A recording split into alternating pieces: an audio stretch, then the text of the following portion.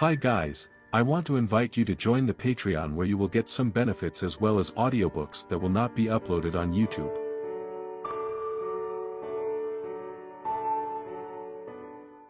But Obito never targeted Kirito.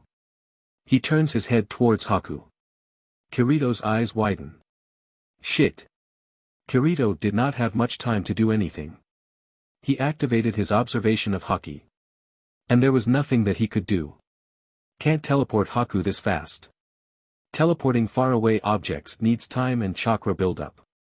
That's why he can't directly teleport someone from far away from himself during the battle. He can't do anything. Gritting his teeth, he himself teleported near Haku.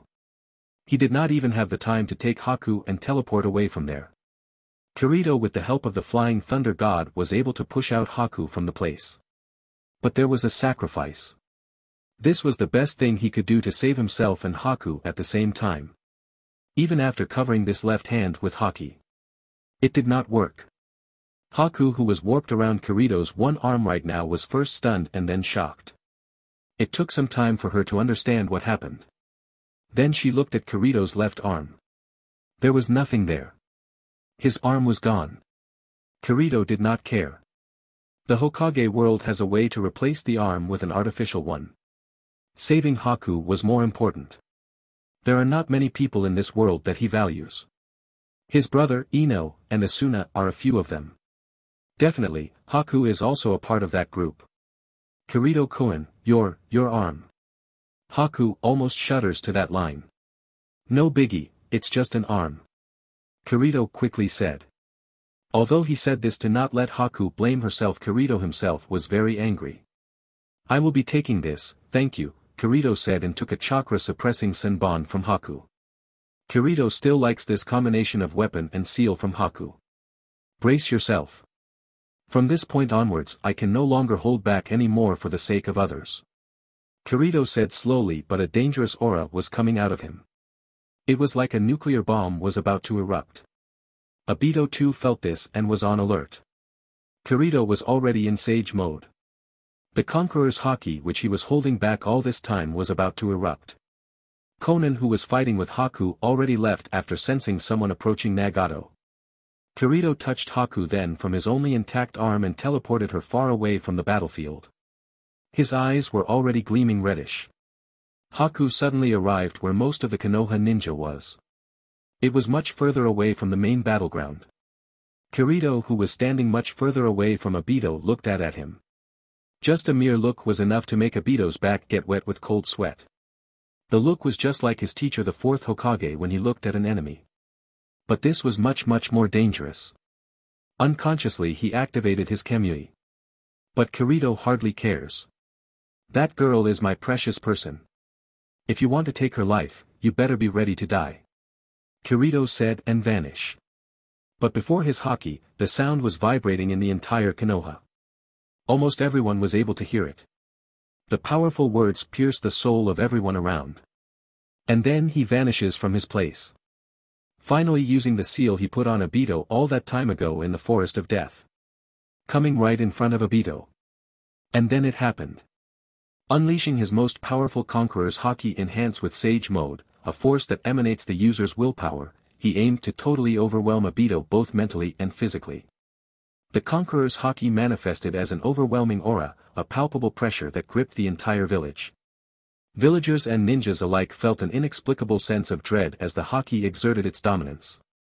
Even the real world was shaking. The ground under Kirito's feet was shaking. The small particles of dust started to float. There were cracks forming in the ground. Kirito's eyes glowed with an intense and commanding presence as he focused his will on Obito. As Kirito's will intensified, a ripple effect spread through the area. Obito, despite his Sharingan and other formidable abilities, found himself momentarily paralyzed by the sheer force of Kirito's overwhelming determination. The Conqueror's Haki, a force of intimidation and domination, began to affect not only Obito but every individual in Konoha. Ninjas and civilians alike fell to their knees, unable to resist the overwhelming pressure exerted by Kirito's will.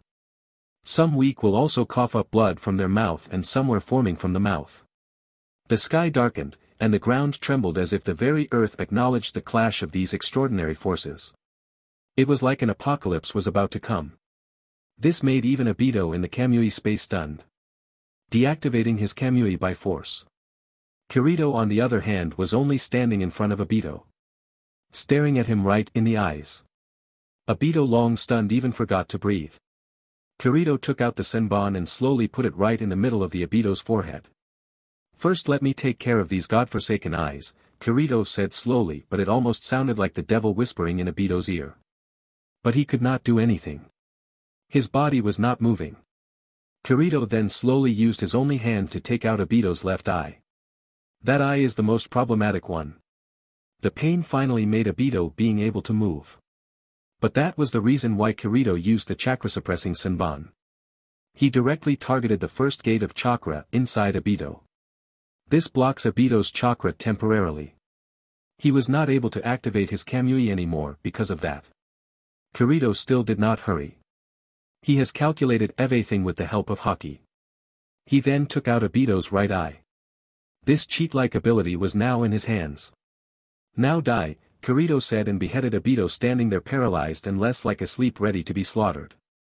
Kirito saw Obito's head falling to the ground. He signed then. He still has one Sharingan on him. Still not death. That bastard. Kirito mutters but he cannot do anything. He does not have time anymore. He already has lost too much blood on his lost arm. He needs to heal himself. Naruto who just beat Sasuke and he himself did not have much power left suddenly felt intense pressure coming from the place where Kirito was fighting. He already knows about Haki. In fact, Kirito has tried teaching him. They both are brothers and have the same blood. There are not many reasons why Naruto can't learn this right. But it never worked. Only later does Kirito realize that it's because of the system he is able to use Haki. So yes, Naruto already knows about Haki. Kirito in fact have trained Naruto to resist Conqueror's Haki. This Haki was to handle the killing intent of others. But this was not even one-tenth of this power. Of course, what Naruto was feeling right now was Kirito's all-out super Haki outburst. Even Sage of Six Path will feel this pressure let alone him. But the good thing was that Kirito stopped pretty quickly. Naruto thanks to his Sage mode was barely able to resist the Haki from that distance. It's a good thing that there was such a distance between him and Kirito. After he established himself. Naruto rushed towards Kirito. He wanted to know what pushed Kirito to this extent. By the time he reached Kirito, he saw Kirito healing himself. He noticed that Kirito's left arm was gone. His eyes widened and was surprised to the core. But before he can say anything. Kirito opens his mouth first. Naruto, good thing that you are here. Go to the east. Jiraiya should be there. Help him out. He should be fighting the real pain alone there. Kirito said. Naruto listened to this but then looked at Kirito's lost arm and there was a little anger in his face. Oi, Naruto. Don't worry about this. It's just an arm. Remember, not to lose your mind and always stay focused. Kirito said seeing that Naruto was getting angry and might replace using his talk no jutsu with his fist. You can't do that brother. Many people's lives depend on you. Kirito mutters to himself. With that said. Naruto although unwillingly, ran towards Nagato. Kirito just signed and then after completely stopping his bleeding, he started walking toward other Konoha ninja. He wanted to see what happened to Tsunade this time around.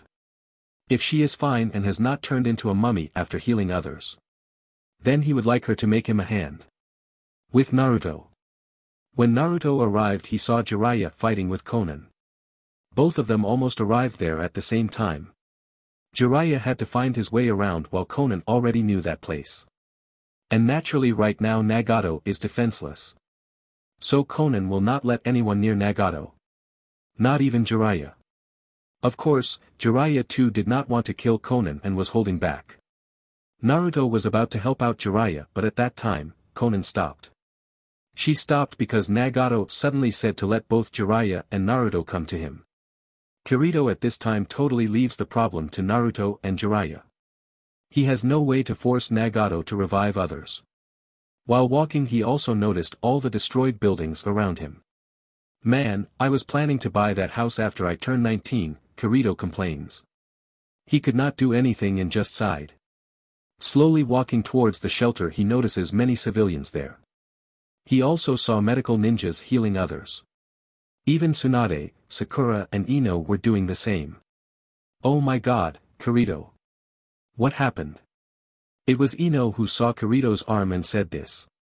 Nothing. My arm decided to do some cross-dimension travel without me.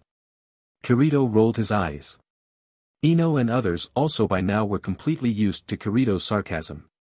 She just rushes towards Kirito and looks at his arm. But there was nothing.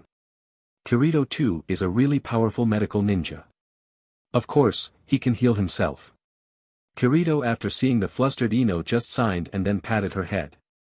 I am fine Ino. Don't worry. I am just here to see whether others are fine or not. Kirito said and smiled. Ino only then let Kirito go. Kirito then looked at Tsunade.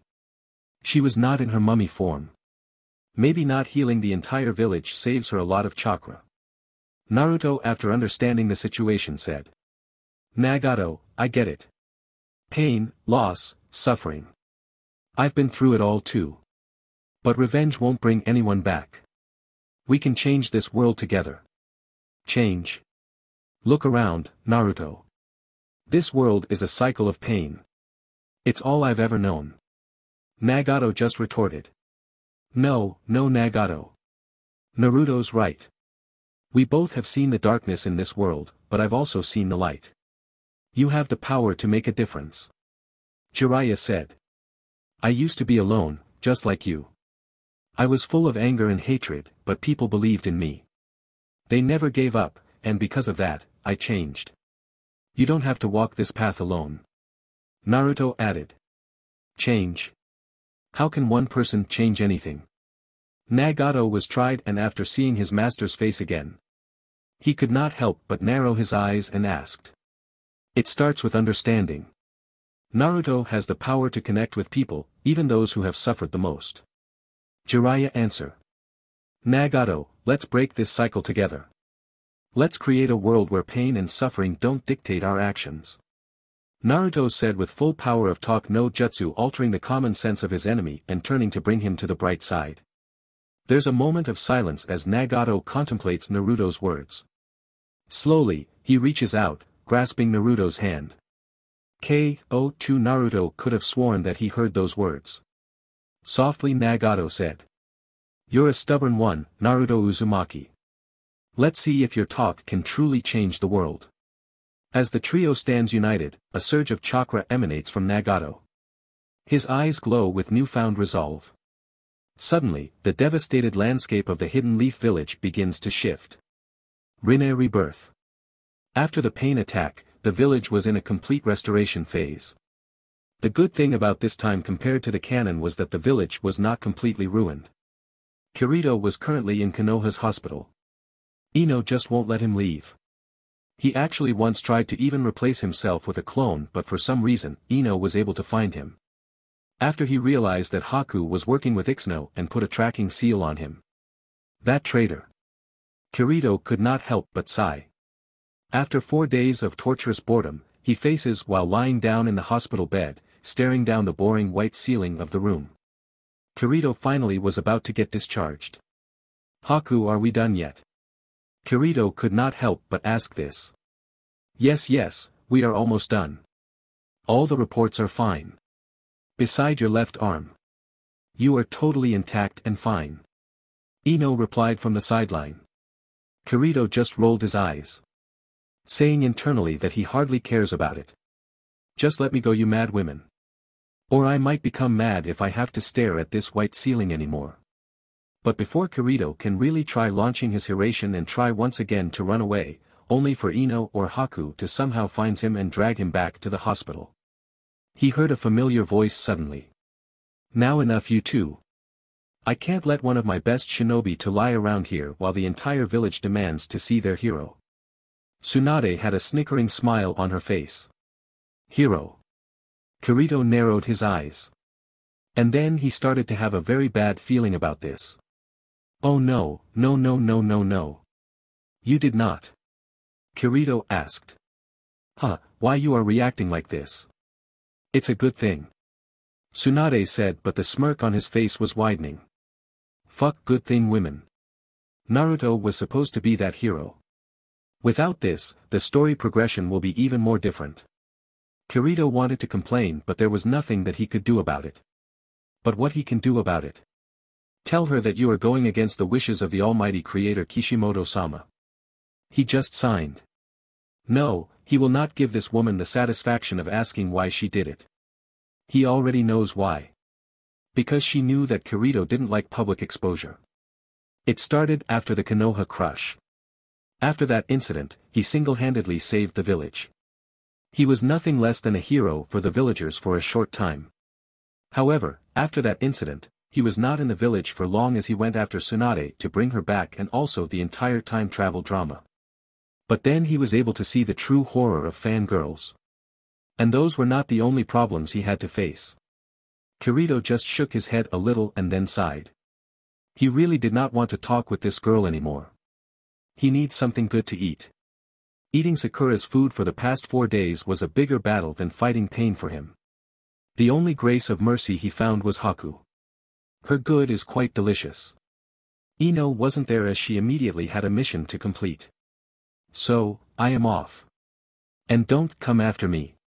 It's pointless, I have already found that micro seal you put on my forehead protector.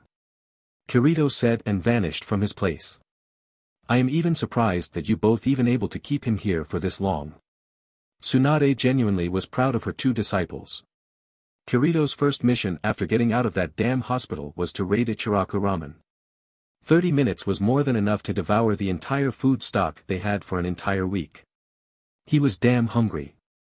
After that, he went out to find Jiraiya. He wanted to know what exactly happened. But after sensing that Jiraiya is not in the village for some reason. He had to settle for Naruto. Yo. Kirito appears in front of Naruto out of nowhere like a ghost. Naruto who was balancing on top of a wire immediately lost his foot and fell down. Minutes later. After doing some makeshift bandaging. Kirito finally asked Naruto what exactly happened after he and Jiraiya went to find Nagato. Kirito was honestly surprised by just how much what Naruto said to him was similar to the canon. After that, the entire day just went on. He had nothing better to do anyway. He just kept on wasting his time with Naruto. But that did not last long. On the next day itself. Kirito was summoned by the Hokage. Kirito had no idea what going on now. Not only he doesn't remember much after the pain arc but at the same time, right now the story is totally messed up. Enter the Hokage office he notices something. The situation was not looking much better right now. Something surely has happened. Kirito mutters to himself. He looked at Tsunade who was frowning hard and even Jiraiya was back by this time. What's going on? Tell us already or just call us later when you are ready to talk. All this silence was making Kirito irritated. Tsunade glare at Kirito. Kirito just glared back. After spending so much time with Kirito. Everyone knows that after a particular glare which ironically matches Minato's, I am gonna kill you look. It's better not to mess with Kirito. The last fight with Pain was a really good reminder for everyone. Even Tsunade is not an exception to this. In the past, once Kirito gave this look to her and sadly she did not realize what it meant. Well, let's say that after that, sitting was really hard for her for one day. And that's after her became a super doctor in this world. And no, he did not bang her you perverts. So after Kirito pretty much owned everyone in the Hokage office with just a look. The meeting finally started. Kirito also noticed that many of the clan heads were also present there. Like Hyuga, Nara and etc. After the invasion, I asked Jiraiya to increase intel gathering on Akatsuki. And I don't know whether it's a good thing or not but we are not the only ones, attacked by the Akatsuki. Many of the Jinchuriki are already gone. In fact, the Jinchurikis which are left are the Nine Tails 2 host. Tsunade said after settling down. Let me explain more, Jiraiya said taking over. My intel network gave me the information about how the eight-tailed Jinchuriki, Killer Bee, Raikage's brother, is attacked by Itachi Uchiha, a missing nin from Konoha. Raikage has summoned a Hokage summit after 30 years for the first time. It is no longer just about Akatsuki and one or two villages anymore. Akatsuki although lost many powerful individuals but now they have 8 out of 9 Jinchurikis. They alone have enough power to destroy one or even two villages if they use the Biju. Jiraiya said. Hmm, this is so much like the canon. Seems like the world will somewhat correct itself no matter the case. Well, I better not jinx it. Kirito thought to himself. Kirito after that pretty much switched on his, I don't give a shit mode and deliberately miss all the meetings until Tsunade said this. So I will be attending the upcoming 5 Kage Summit. She said that while looking at both Kirito and Naruto. Naruto was scratching his head because the level of conversation was way past his IQ level. Thank goodness that Konoha has won Nara Shikamaru for this future knucklehead Hokage. And she was looking at Kirito, the reason being that Kirito sleeping while leaning on the room wall. Naruto quickly shook Kirito to wake him up. Kirito groggily woke up and looked around. Oh so we are done, Kirito said with a plain voice. Both Tsunade's and Sakura's eyebrows were twitching at this time. Tsunade was about to say something. But Kirito beat her to the punch. So we are going to the summit. I guess that it will be in the land of iron considering that it's neutral ground. Kirito said. He might have not listened to what happened but he knew the plot. Everyone was a little stunned by this. In their mind, Kirito who did not listen to the entire conversation and still being able to guess the ending of the conversation is just insane. We are leaving tomorrow, Tsunade replied. Who is coming with us, I asked. Who said you are coming? Tsunade narrowed her eyes. Bitch, please. If not me then who? Kirito almost rolled his eyes.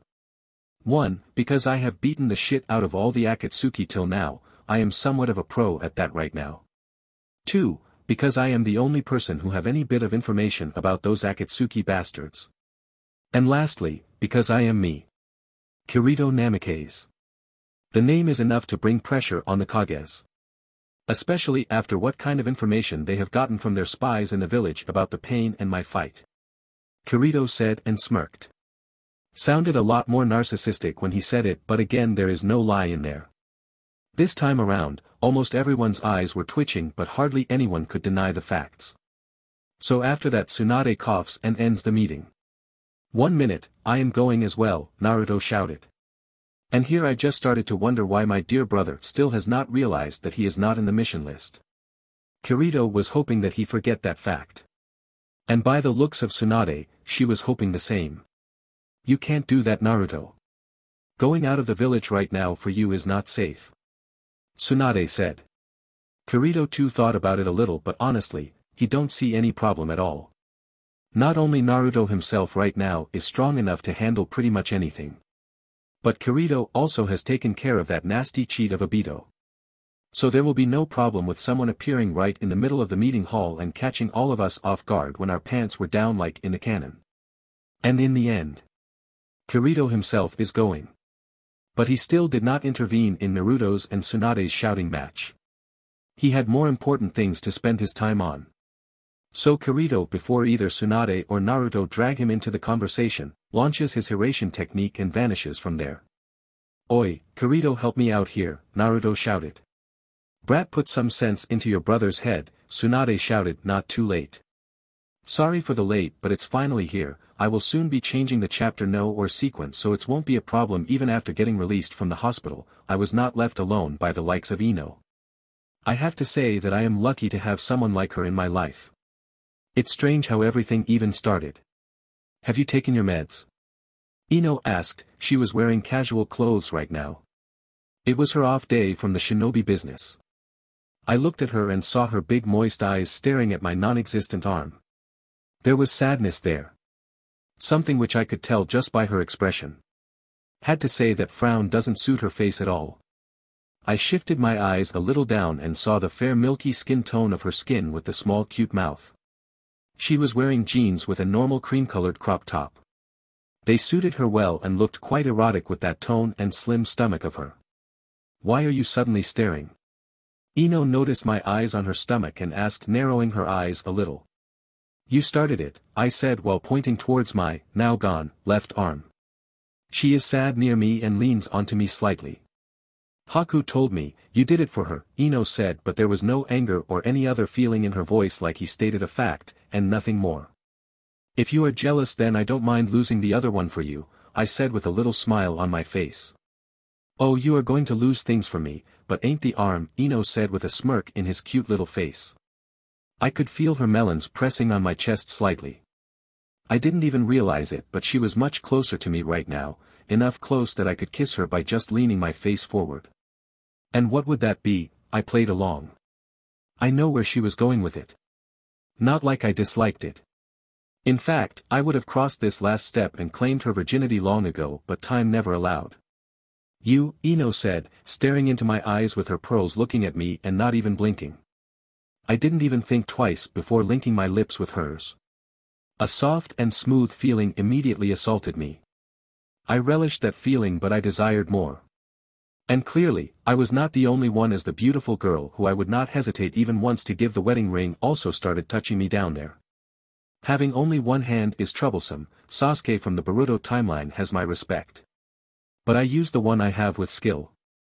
I started by slowly caressing her face while she was furiously kissing me and made my way down slowly. I slowly grabbed her breasts, giving them a light squeeze, and kept my hands there for a little while to check for any rejections. There was none, I became bolder and put my hand inside her crop top. It was easy enough to do. She too was not holding back, in fact, she looked more desperate than me. I didn't waste any time and directly pulled out her small crop top which was barely holding on to her giant melons. After Hinata, she is best in this area, the moment they got out of the restraint of the top, I saw two big soft mountains jiggling in front of me. No matter how much physics I learned in my last life, I couldn't understand their physiques.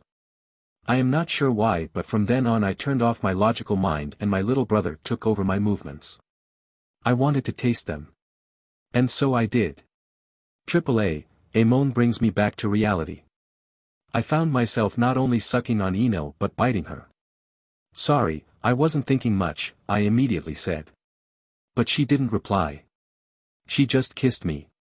Maybe she too had stopped thinking for herself and now her womanly instincts were in control. Putting my body weight on her, I put her down to the bed, I couldn't wait anymore. With one hand, taking out my pants was a hard task, funny thing, Ino smacked my hands away. She looked to be in more hurry than me. I just decided to step back to let the girl take the lead. Not like I couldn't have stopped her even if I wanted to.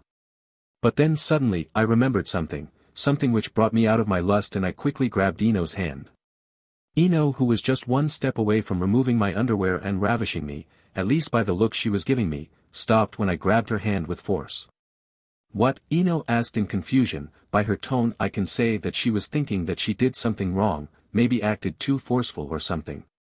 But before her thinking takes her to multiple outcomes which are far worse than, she is being a little too assertive, I said. I love you, and that's why I wanted to tell you this Ino. Never got a chance but. I said but before I couldn't complete what I wanted to say. Ino spoke first. You like someone else as well, Ino said completely breaking my plan to slowly break this news to her. You know, I couldn't help but ask out loud. Ino at this just gave me an are you for real look. Girls have very good instincts you know. They can say when their man is cheating on them, Ino said with narrowed eyes. No no, I didn't cheat. I didn't do anything, but, I said and mumbled my last words. But you ended up falling for her, didn't you, Ino said like she already knew what I was thinking. Yes, I just, coming clear with her. I understand if you don't agree. But I. I was saying but before that, Ino shushed me with putting her finger on my lips. I don't care who she is, we will talk about that bitch later on, Right now you are not allowed to think about any other girl than me, you understand Namikaze, right now you are just mine, Ino said with a sultry voice sent shivers throughout me. She spat away my hand from which I was still holding her hands unconsciously and removed the last bit of layer which was holding back my raging boner. The moment she removed the underwear, she was greeted by a 9-inch monstrosity ready to ravish anything in its path. I personally was a little worried about its size, considering that if the penis is too big then it might cause discomfort but after seeing her Nifo face. I took back what I was thinking. I saw her gulping and a smirk came to my face. Guess I need to satisfy her to the degree that even if she hates me after this sex. She has to come back for this dick. I first try to write a lemon. Don't be too harsh I will improve later. Next part will come but it won't be the next chapter. But it will pick up from where this one is ending. The next day, a really strong lineup of excellent shinobi was ready to travel with Tsunade and protect her. Dude, she is the Hokage. And above that, she is Tsunade fucking Senju. What kind of protection does she even need? Kirito really wanted to say this but he held himself back. Looking around he notices Kakashi, Haku, Naruto, and many other Anbu ready to depart. But Kirito is not so bad in politics that he does not understand what exactly going on. It's not for defense as much as it is for showing off. Kirito was sure that all the Kages would be bringing their best shinobi as a guard. It's almost a dick measuring contest. Well, Tsunade and may have none but still. Kirito in fact was more interested in the current Kage of Sunagakure. Last he knew that Gaara was kidnapped and there is no other Kage-level shinobi in the village right now. Okay, we should be going now, Tsunade said. But before any reply comes, she notices Sakura running towards her. Sakura, what happened? Tsunade could not help but sighed. Why kids are so unmannered these days? First this Kirito who became a complete opposite of that brat Minato and then her own disciple who have same anger issues as her. So you do agree that you are old, Kirito muttered slowly but Tsunade heard him loud and clear. What did you say? There were already veins popping on her forehead. How the hell did this bastard know what I was thinking? Tsunade had no idea. Kirito just smirked a little and replied. Nothing nothing. Just thinking of a punchline for the time when suddenly the Akatsuki bastards will infiltrate the 5 Kage summit and then I will have to fight them. You know, saving the day and being the hero. Kirito said. Tsunade including Sakura, Kakashi, Haku and even Naruto rolled their eyes. What should I say, maybe? This is as far as you go. I just recently beat the shit out of that ugly eye masochist of your group who likes pain so much. So you better fuck off or I will show you a whole new meaning of pain. Kirito said with a sage-like voice. Others were looking at him with deadpan looks. What? You think that I come up with amazing punch lines out of thin air? Kirito rolled his eyes. After the daily dose of non-CC, everyone had enough and was ready to depart but then suddenly Kirito noticed a bird coming towards him. It was not an ordinary bird of course. It's a messenger bird. Others also noticed and stopped. Will Jiraiya do in all this time? He will be playing part-time Hokage while we are away from home. There is always a Stark in Winterfell. I mean a Kage in Konoha. Kirito quickly took the piece of paper the bird was carrying and then fed some homemade candies to the bird. Yes, his bird-like candies. Deal with it. Kirito what is it, Tsunade asked. Kirito looked at the piece of paper and the only thing written there was, brothers. Kirito instantly took a serious posture. Brothers mean Sasuke and Itachi.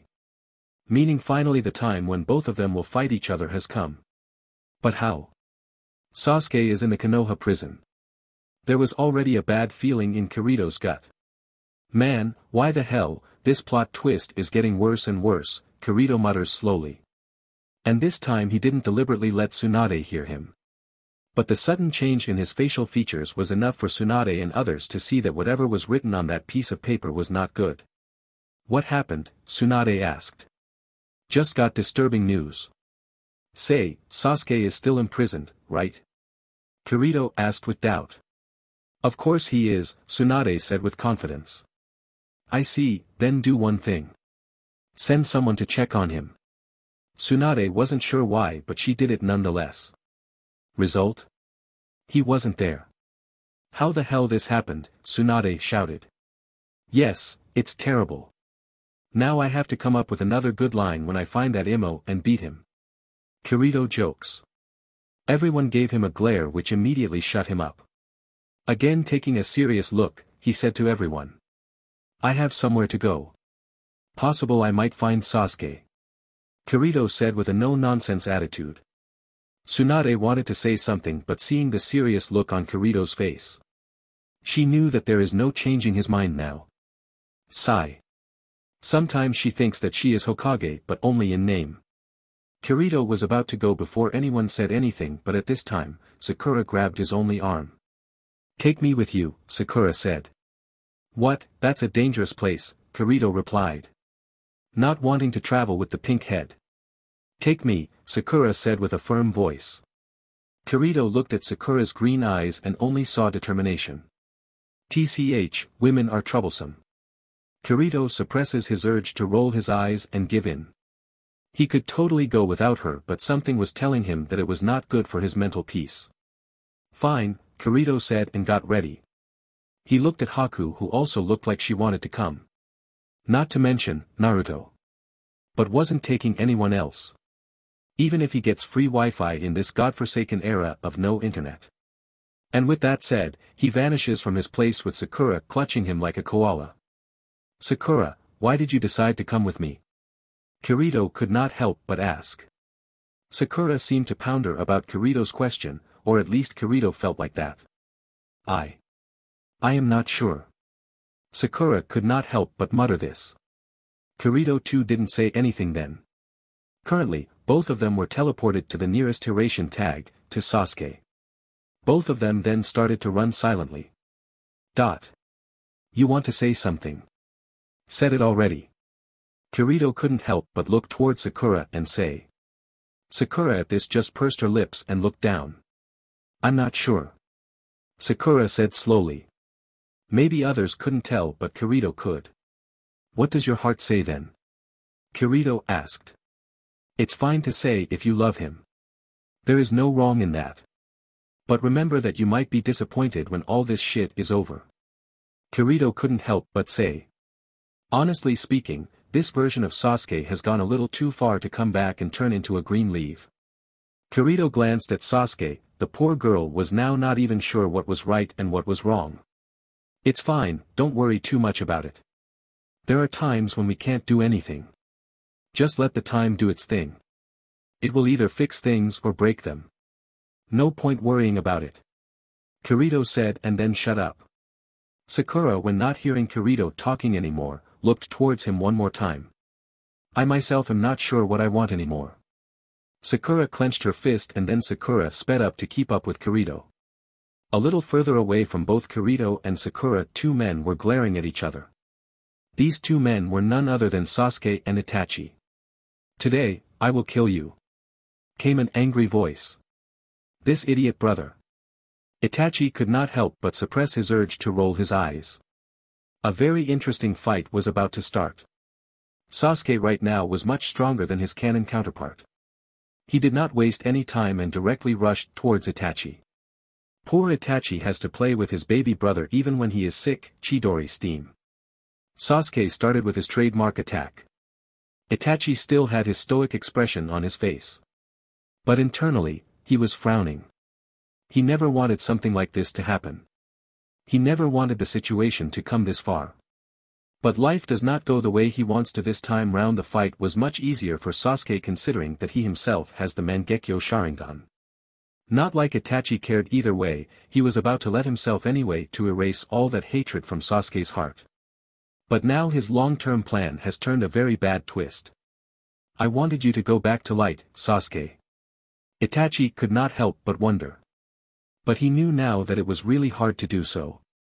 Sasuke has killed a shinobi of Konoha. Even if Hiruzen Sarutobi was alive, this was almost impossible to bring back Sasuke to the village.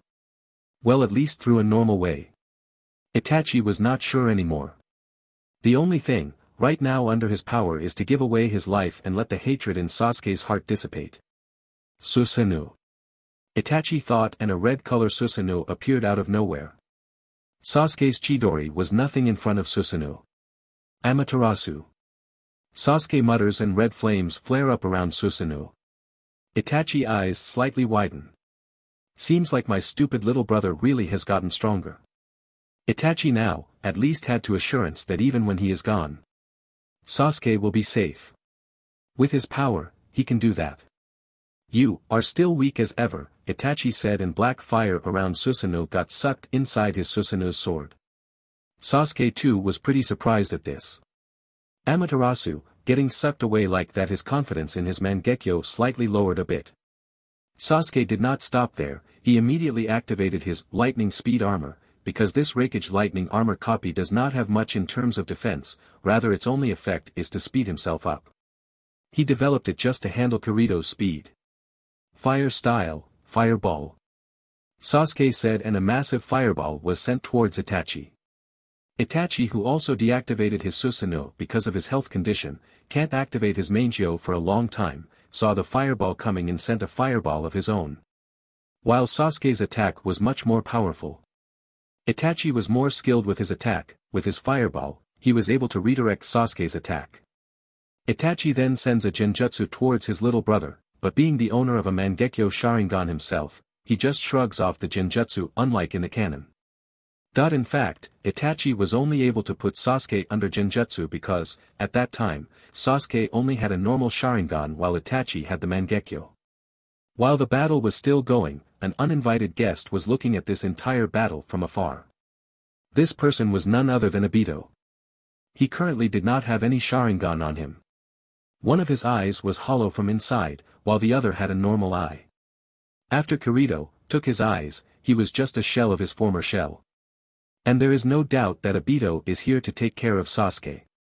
While this was happening, Kirito and Sakura were also rushing towards the place where the fight was happening. Although he did get the information he himself does not believe that he can reach the place in time. Both Kirito and Sakura were rushing at their top speed. But it was already too late. Kirito was the first to notice. There is no chakra fluctuation anymore. Kirito mutters and after looking at Sakura, who is hardly able to keep up with Kirito and majorly slowly him down. Sakura, we need to increase speed, Kirito said and then grabbed Sakura suddenly. All. Sakura was startled by the sudden jerk of moment from Kirito. Kirito did not even give Sakura a second look and the princess carried her. Hold on tight Sakura. I'm gonna speed up. Kirito said. For some reason, he saw Sakura's face turning red. But, right now he didn't care about it. Minutes later. In just under 10 minutes, Kirito crossed almost 50 kilometers distance. He was still carrying Sakura, who was clutching on Kirito for her dear life. Her neatly combed hair was in dismay. Her face with light makeup was looking horrible and clearly, she was the one who was out of breath out of the two people. What happened to her? Ino like a princess carries at that speed. Well, not that speed. Maybe a little slower but still. Kirito ponder. He did not give too much attention to the poor girl anymore and turned around to notice the area. He couldn't help but frown. Kirito could notice the sign of a fight happening here. Amaterasu Kirito saw the black fire still burning on the side. Susanoo he noticed a huge handprint. Something which most likely happened through Susanoo. Kirin the chakra signature was left behind after a powerful lightning style jutsu. Fire style, earth style, lightning style and even wood style jutsu Kirito frowned he almost could see the entire fight happening in front of him. Spotting the blood all around, he can also figure out where Itachi exactly died. And yes, there is no way that Itachi killed Sasuke. TCH, I am late. Kirito could not help but mutter to himself. Kirito really wanted to get Itachi's body if possible. The first thing which came after him was to go after Sasuke but then he looked at Sakura. Well maybe, I should not. Kirito could not help but wonder. Not to mention, he has to go and join Tsunade soon. Another thought came to his mind and suddenly he became angry. That damn Obito now not only have Sasuke on his side but there is a possibility that he take either Itachi's or Sasuke's eyes after this. Kirito thought and then signed. There is nothing left here Sakura. We need to go back. Rest up a little bit and then we are getting out of here, Kirito said sitting beside Sakura. Sakura by this time has calmed down. Hey, I. I wanted to ask you something, Sakura asked. Kirito at this moment, was not in the mood but he nodded to her to go on anyway. You, how did you carry me with Princess Carry with one hand? Sakura asked. Kirito who was not paying attention suddenly looked at Sakura. Good question. how the hell did I do that? Kirito opened his mouth to say something but nothing came out. He himself looked confused now. After a few days of travel. Good good, let go, let go. We better not waste more time, Sakura hurried. Kirito just rolled his eyes and finally activated his teleportation technique. Soon, both Kirito and Sakura appear in front of both Tsunade and others. Good thing that Naruto was with them. With him there, Kirito can easily track them. Yo, did you guys miss me, Kirito said the moment he appeared. But he could only see the irritation on Tsunade's face. Okay okay, don't show that face, I clearly had a reason that I took my time, Kirito said. Get ready, in under an hour the 5 Kage summit is gonna commence, Tsunade said and turned around. Well, it's not like I will be even visible.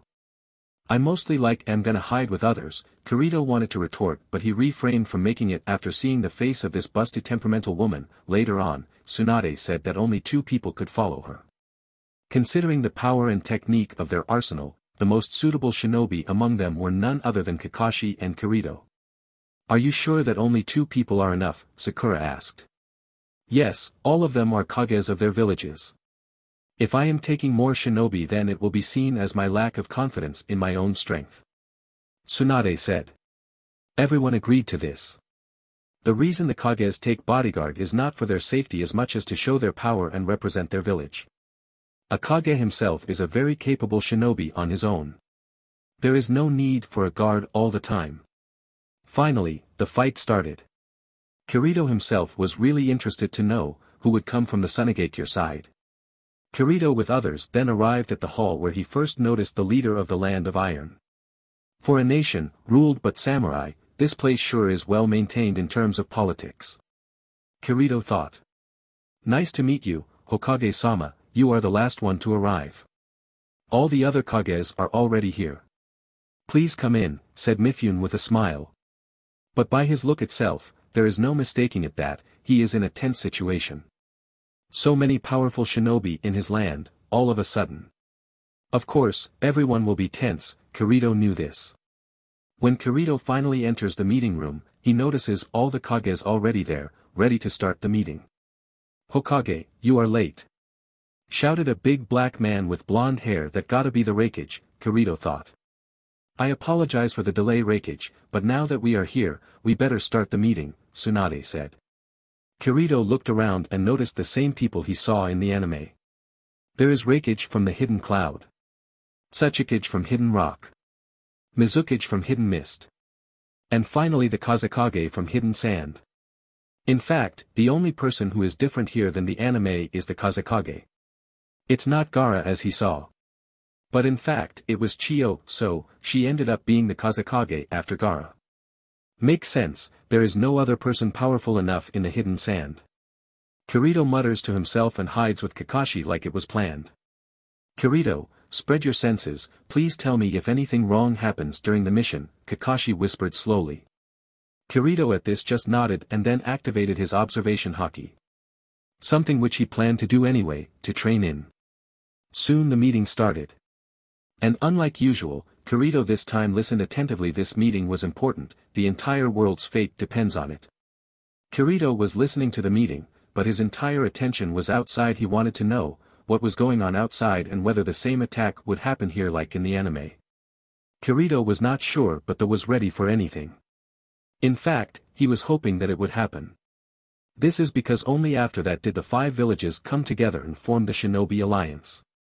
As the conversation between the Kages was going on, Kirito sensed something. Oh, they are finally here. I was afraid that if they didn't come then I have to make the declaration of war for Akatsuki, on their behalf, Kirito thought.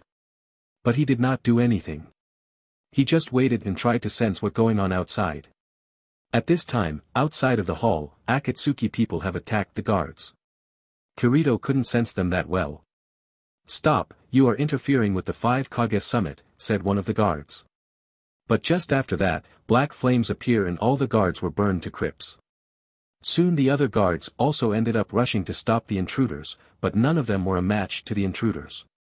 In the hall, the conversation was suddenly interrupted when footsteps from outside were heard. Master Mifune, there are intruders. We are unable to stop them, said a samurai after he entered. Kirito has already informed about this to Kakashi. Not only this but also how exactly they are facing. Who are they? Raikage could not help but ask. Akatsuki, they are the members of Akatsuki.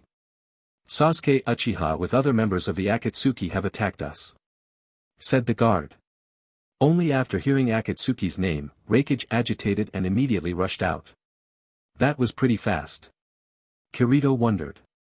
Maybe the speed is comparable to mine. And this time for real. Not like Sasuke, Kirito mutters slowly and wonders whether he can learn the lightning armor. He learned the lightning chakra nature but never practiced lightning jutsu beside his hyperspeed. Nowadays the youngsters are just too impulsive, Onoki the Kage of the Hidden Rock, spoke the first. Chiyo on the side could not help but nod. Both Terumi Mei and Tsunade just looked at each other and shook their heads. We better go and see, what's going on, Tsunade said. Sasuke is from Konoha, we need to stop him ourselves, Tsunade said. I was waiting for you to say that, Kirito was the first one to act. Tsunade then accompanied by both Kakashi and Kirito went after Raikage. On the Raikage side, the situation was not looking that good. Only Sasuke alone was hard to handle. The problem is that currently, Sasuke has the Eternal Mangekyo Sharingan and also the Hashirama Cell. Not only he can now use the wood style but also has considerably his chakra consumption was even better than before. EMS are cheats in Naruto. Kishimoto flavors Uchiha too much. The chakra exhaustion he faced last time when he faced Naruto wasn't a problem for him right now. Surely this change came after Sasuke, replaced his eyes with Itachi's Mangekyo Sharingan. Now he has the eternal Mangekyo Sharingan in his arsenal. Raikage took their watching the black fire on his arm. After fighting with Sasuke a little bit, he at least knew that the black fire was dangerous. But his anger made him almost go mad and attack Sasuke in a blind rage. With that said, this was very similar to what happened in the anime. Sasuke, who was fighting with the Raikage, also noticed Kirito coming and stopped. Out of all the people there, if there is one person who he wants to beat, then it's Kirito. He always has been inferior to Kirito. In fact even Naruto beat him last time and he can't take it anymore. Not even once, he has beaten Kirito and now, with this power in his hand. He wanted to beat him finally. Obito on the side, notices this and does not stop Sasuke. If anything, he wanted to fight Kirito himself. But Kirito himself was not looking at them. Out of all the people there, Kirito was only looking at the person standing beside Obito. This person was none other than Orochimaru. Kirito narrowed his eyes. Now that Kabuto is gone, the only two people who can do the Edo Tensei technique are Kirito and Orochimaru. There is no doubt that Akatsuki from this point will have their undead army. Sasuke was the first one to attack. Turning his Susanoo he directly attacks Kirito. Kirito had to stop staring at the person, standing beside Obito and block the attack. Activating his haki, he punches out. Stopping the Susanoo's attack midway. How many times do I have to beat you up until you quit challenging me, Kirito asked with a disdained face. This time he was serious. He knew that Sasuke had killed Shinobi of Konoha and now he no longer cared about him. The only reason he was not killing him before was to maintain at least an option to seal Kaguya if it comes to it but now considering that there is no way to bring him to his side, anyway. He better take care of him right here and right now. Quit wasting time and fight me, Namikaze, Sasuke roared. Quit wasting time and fight me, Namikaze, Sasuke roared. Why, you guys are doing enough damage by yourself. By all means, please go on. It's pretty interesting, watching people duking out and getting there but kicked. Kirito said and almost everyone around him looked at him like he was an alien. Oh god, Tsunade mutters, like something she doesn't even want others to know that Kirito is from Konoha. That's mean, he could not help but mutter. Well, Sasuke was not that much interested in joking. He attacks Kirito anyway. Sasuke rushed towards Kirito like there was no one else there. Kirito waited. But internally he already had open observation haki. Calculating all of Sasuke's moves. Amida. Sasuke was saying but Kirito vanished from his place. Don't play around, I know what you are thinking. Kirito appeared behind Obito, who also had his Rinnegan open and was about to cast Almighty Push. He got the Rinnegan from Pain of course. Kirito saw thanks to his observation haki, he saw Obito was thinking about using his own attack after Kirito dodged Sasuke's Amaterasu. Kirito did not play around this time around though. There is never playing around with Obito, kill him. He always wanted to kill his F. So, taking out his sword, he immediately cut off his neck. Only to find that the person in front of him was a clone. TCH, it's never easy, Kirito internally cursed. If you want to fight then come on, don't sneak attack from the side you bastard, Kirito shouted. Kakashi at this time appeared and stood in front of Kirito. You go, I will handle the masked man, Kakashi said, almost growling. For those who don't remember, the masked man, aka Obito, took Kakashi's Sharingan in the pain attack. Kirito isn't sure why his lazy sensei, who is lazier than him, is suddenly showing fighting spirit but he doesn't care. Yeah, you do that Kakashi sensei. Show that son of AB TCH, who is the F king copy ninja of the leave really is, Kirito said and let Kakashi handle Obito. Then he looked towards Sasuke was still getting tangled by the Raikage. Susanoo Sasuke shouted and a massive Susanoo appeared out of nowhere. It was still the half version and not the entire Susanoo but still, it was strong. By the looks alone Kirito could tell that this Susanoo is much stronger. Does Eternal Mangekyo make the Susanoo stronger, besides making the user capable of using its full version? Kirito could not help but ask. He was just about to attack but suddenly Tsunade made the move. She jumps with extreme speed. Sometimes Kirito even wonders, how it is possible with her assets. And then a punch was swung at the Susanoo. Boom. The entire Susanoo was thrown 5 meters back. Reader San, please tell me, why the F asterisk CK I keep getting on this violent woman's bad side. They will steal my spotlight, like this, Kirito said in amusement. So with a grim he also took action. Wind-style Rasen Shuriken, Kirito muttered and a wildly spinning ball of wind and chakra was thrown towards the Susanoo. Kirito also appears right in front of Tsunade. Took her hand like a gentleman and vanished with her. Just before his attack makes a Chinese noodle out of the Susanoo.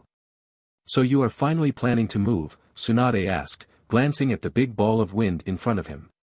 Nah, just thought that I can't let an old woman like you show up to me, you know, Kirito said. This followed a serious series punch towards him by Tsunade, but Kirito turned out to be a clone. The real Kirito was on the other side of the clone. He knew that Sasuke had survived the attack and came out. I really want to kick his ass but I want at least Obito to explain why they are here. If not anything, this will kickstart the shinobi war and other villages will be alert. So he didn't attack Sasuke. On the other side, he also noticed that both Kakashi and Obito stopped their attack. Why are you here, Kirito asked. If no one is asking then, he has to be the one who sets the ball rolling. He asked this question to Obito. Not even giving a second look to Sasuke. But that doesn't mean that he not paying him any attention. And by the action of Obito, who quickly took the center stage to talk, Kirito knew that he too wanted to declare war. Akatsuki wants only one thing, world peace, he said. Kirito just rolled his eyes. Please, come to the point or we can start fighting again, Kirito said. And by the looks of Raikage, he was looking forward to it. Obito too, sensed the situation might go out of hand any time and decided to cut his nonsense short and deliver his message. Honestly, he was not afraid of the Kages or the village but he had the confidence to fight with them because he had the Biju in his hands.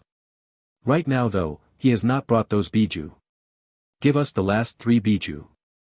We never wanted a war but we will if anyone stands in our way, Obito said. I am sure that his dialogues in the anime were better. Maybe this guy is under performance pressure. It's not like he has his cheat anymore right? Kirito could not but wonder. I saw her gulping and a smirk came to my face.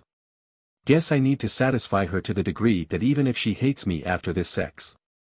She has to come back for this dick. I thought and smirked. Then I smelt a soft and warm sensation around my dick. Ino tentatively kisses the tip of my dick with her soft lips.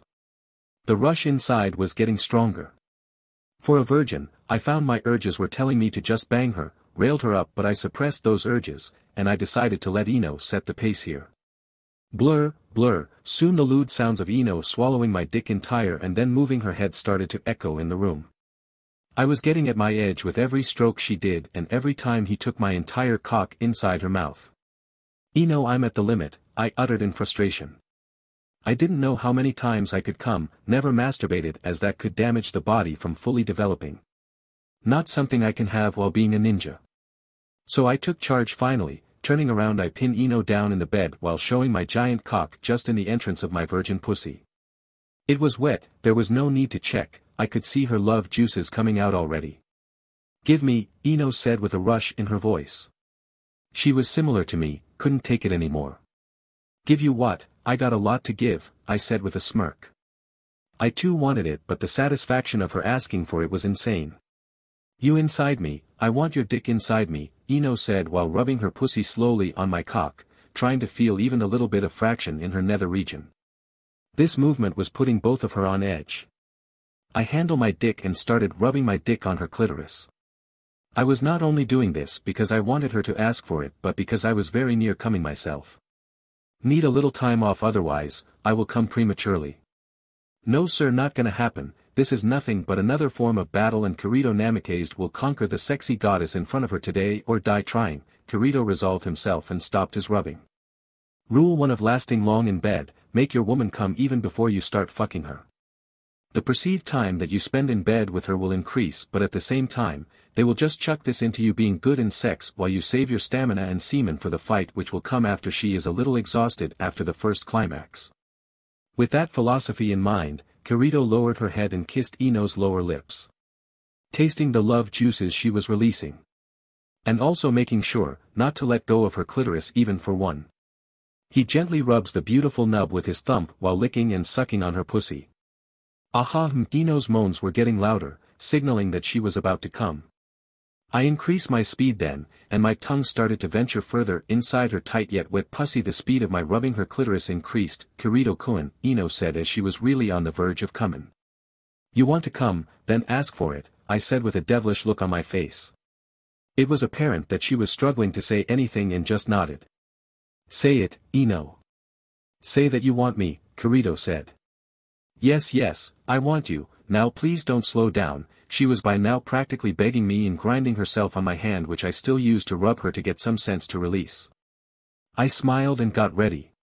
This time increasing the intensity, I used two fingers to enter her while personally going up and bidding down on her boobs, a a a a a a a a a ghm, give us the last three biju. We never wanted a war but we will if anyone stands in our way, Obito said. I am sure that his dialogues in the anime were better.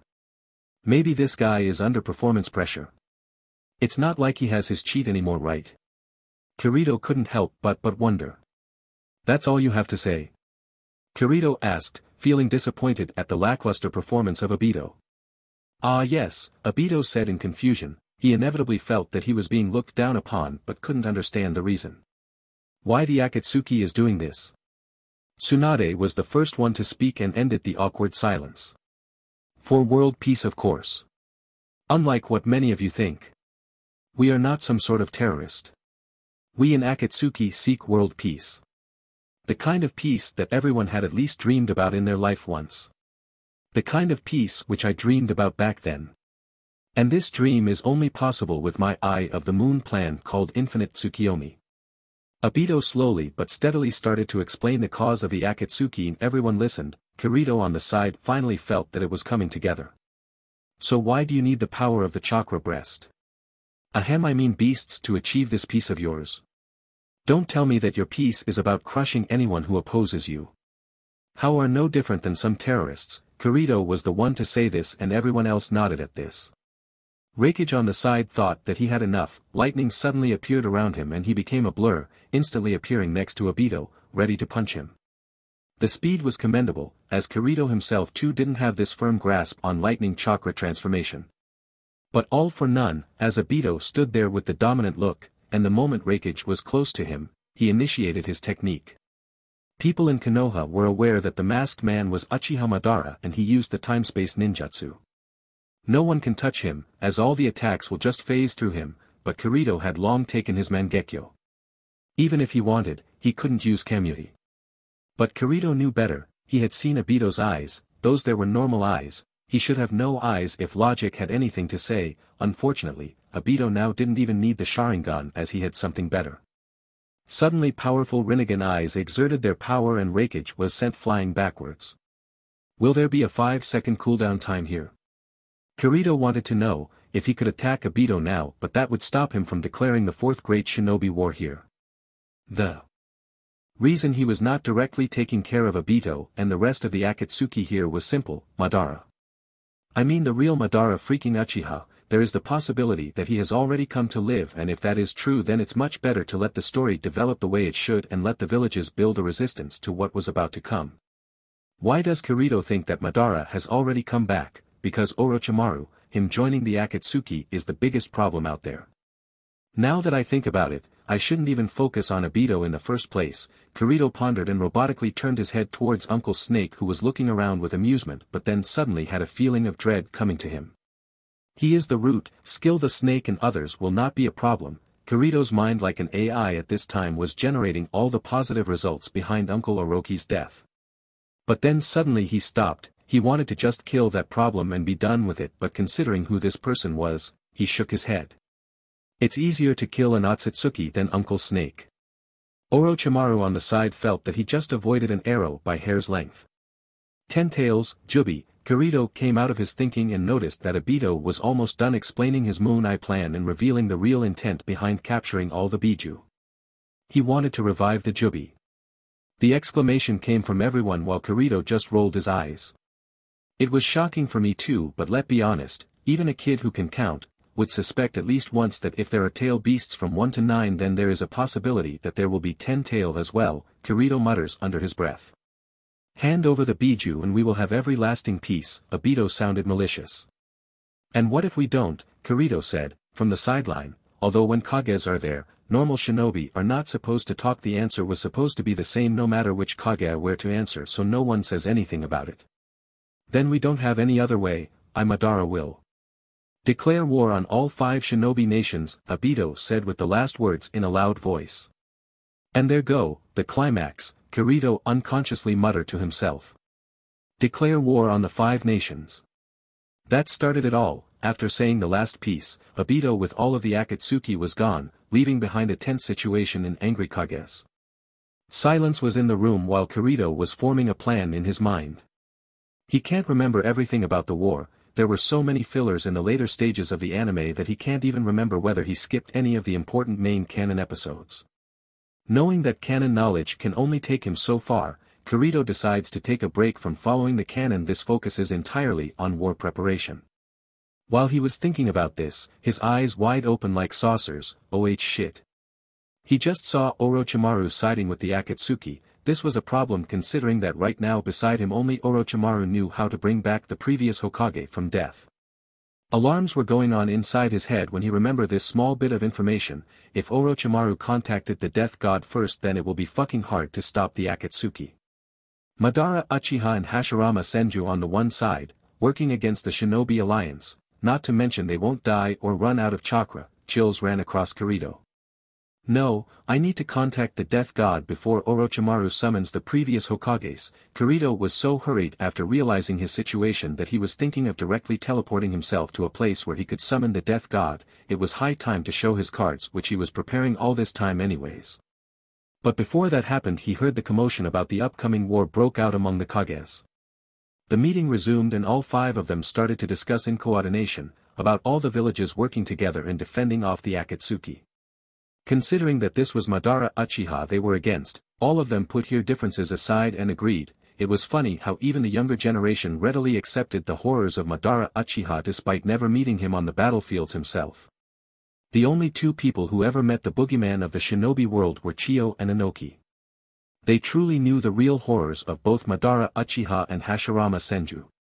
Everyone else only feared this name because of what he learned in history and against which man Uchiha Madara was usually compared. Hashirama Senju the god of the shinobi world, was a prominent figure and no one throughout the elemental nation can deny that he represented the peak of the shinobi era. There was no one close to him, no one stronger than him, no one except one man, Madara. So they do understand the situation they are in, but still fight off to solidify their situation on the battlefield. Kirito just tunes out the noise and lets them decide who is gonna be the commander and who will play the pawn. He silently made a clone and the clone vanished from its place with the Hiraishin technique. Being the Hokage guard, he can't leave right now and thus sends the clone to handle the preparation phase. It took another hour for the talks to end, making sure that all the Kages were in agreement, the formation of the Unified Shinobi Alliance was formed in this world for the first time. After the talks, when Tsunade was ready to get back to the village, Kirito finally spoke. I need some time off, Kirito said with a serious look. Tsunade after hearing this immediately wanted to smack Kirito's head, considering that they were now on the verge of the biggest war this era was about to undergo and this kid wanted a break but didn't follow through with her thought after seeing Kirito's serious, I dare you to say, no, to me bitch, face. She didn't deny it directly and asked the reason.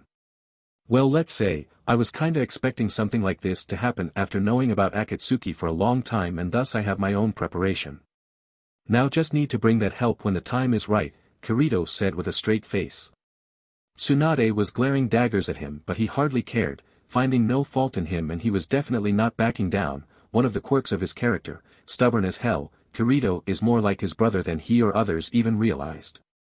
Both brothers are very willful, Tsunade finally sighed. Fine, but I want you back as soon as possible, I want you to go and train Naruto and stay with him. I don't want you or Naruto to be part of this war, now it was Tsunade who was in a serious phase and talked with all the authority of a Kage. After all, maybe others only consider Naruto a Jinchuriki after his breaking out with Nine Tails chakra before but Tsunade knew better. She knew that Kirito also held half of the Nine Tails. So you want me and my brother to hide away while people who we both care about fight for their lives and shed their blood? Let me ask you, what part of Uzumaki's temper and Namikaze's determination you don't understand, Kirito asked in a nonchalant manner but his attitude about this was apparent. It's an order Kirito, Tsunade was not backing down on this.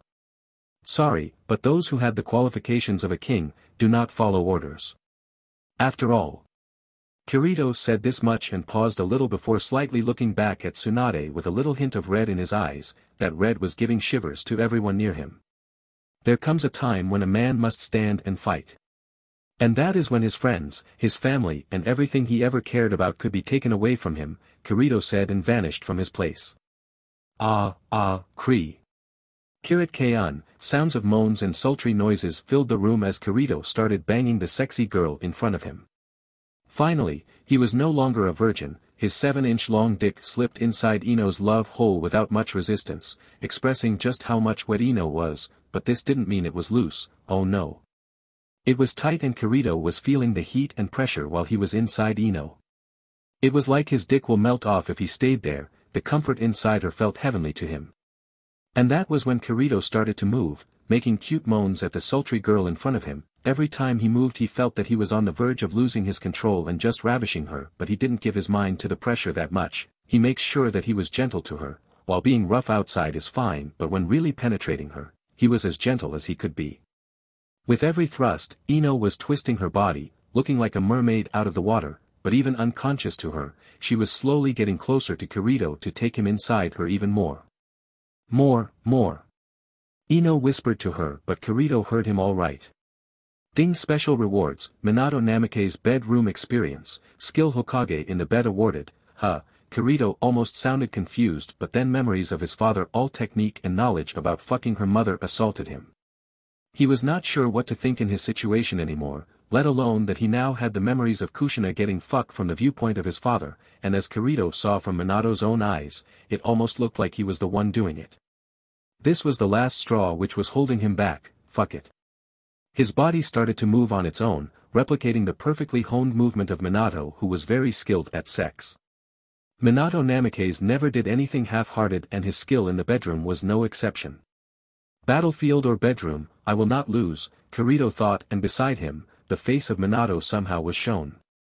He grabbed Ino from her hips and unlike his usual gentle passe, rammed his dick inside with much force. Ah, this sudden change in movement completely caught Ino off guard. But Kirito didn't care, he gave his all and reached as deep as possible inside Ino. Call me Hokage-sama, Kirito muttered and then questioned himself. Is this the role play they used to play? Kirito shuddered a little but then immediately came back to his role. What, Ino was not even in the right mindset to talk back. The sudden burst of pressure mixed with a little pain almost caught her off guard. But Kirito didn't repeat, he leaned down and bit on her nipple with little force, aha a very cute moan rang inside her room, this moan was not the subtle quiet moan she had been making till now. It was loud and she couldn't control it at all. Making her face completely red as she acted like that. She was about to cover her face with her hands to hide her shyness but Kirito grabbed them and pinned them down. He slows down his dick movement and reduce his movement range. Just barely moving but the pressure was aimed at her clitoris.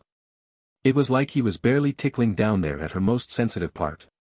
Ino shuddered, not sure whether it was because dominating look Kirito had on his usually calm and innocent face and the lustful eyes he was watching her, like he was a tool or her servant, or it was the particular action he was doing down there. Gulped, Ino couldn't help but shudder as Kirito said again, call me Hokage-sama if you want this, Kirito said and suddenly jerked completely inside Ino with sudden movement. But that was not all, using Minato's knowledge, he added a very light to almost no lightning element on his dick making it buzz only slightly like a certain sex toy from his previous life.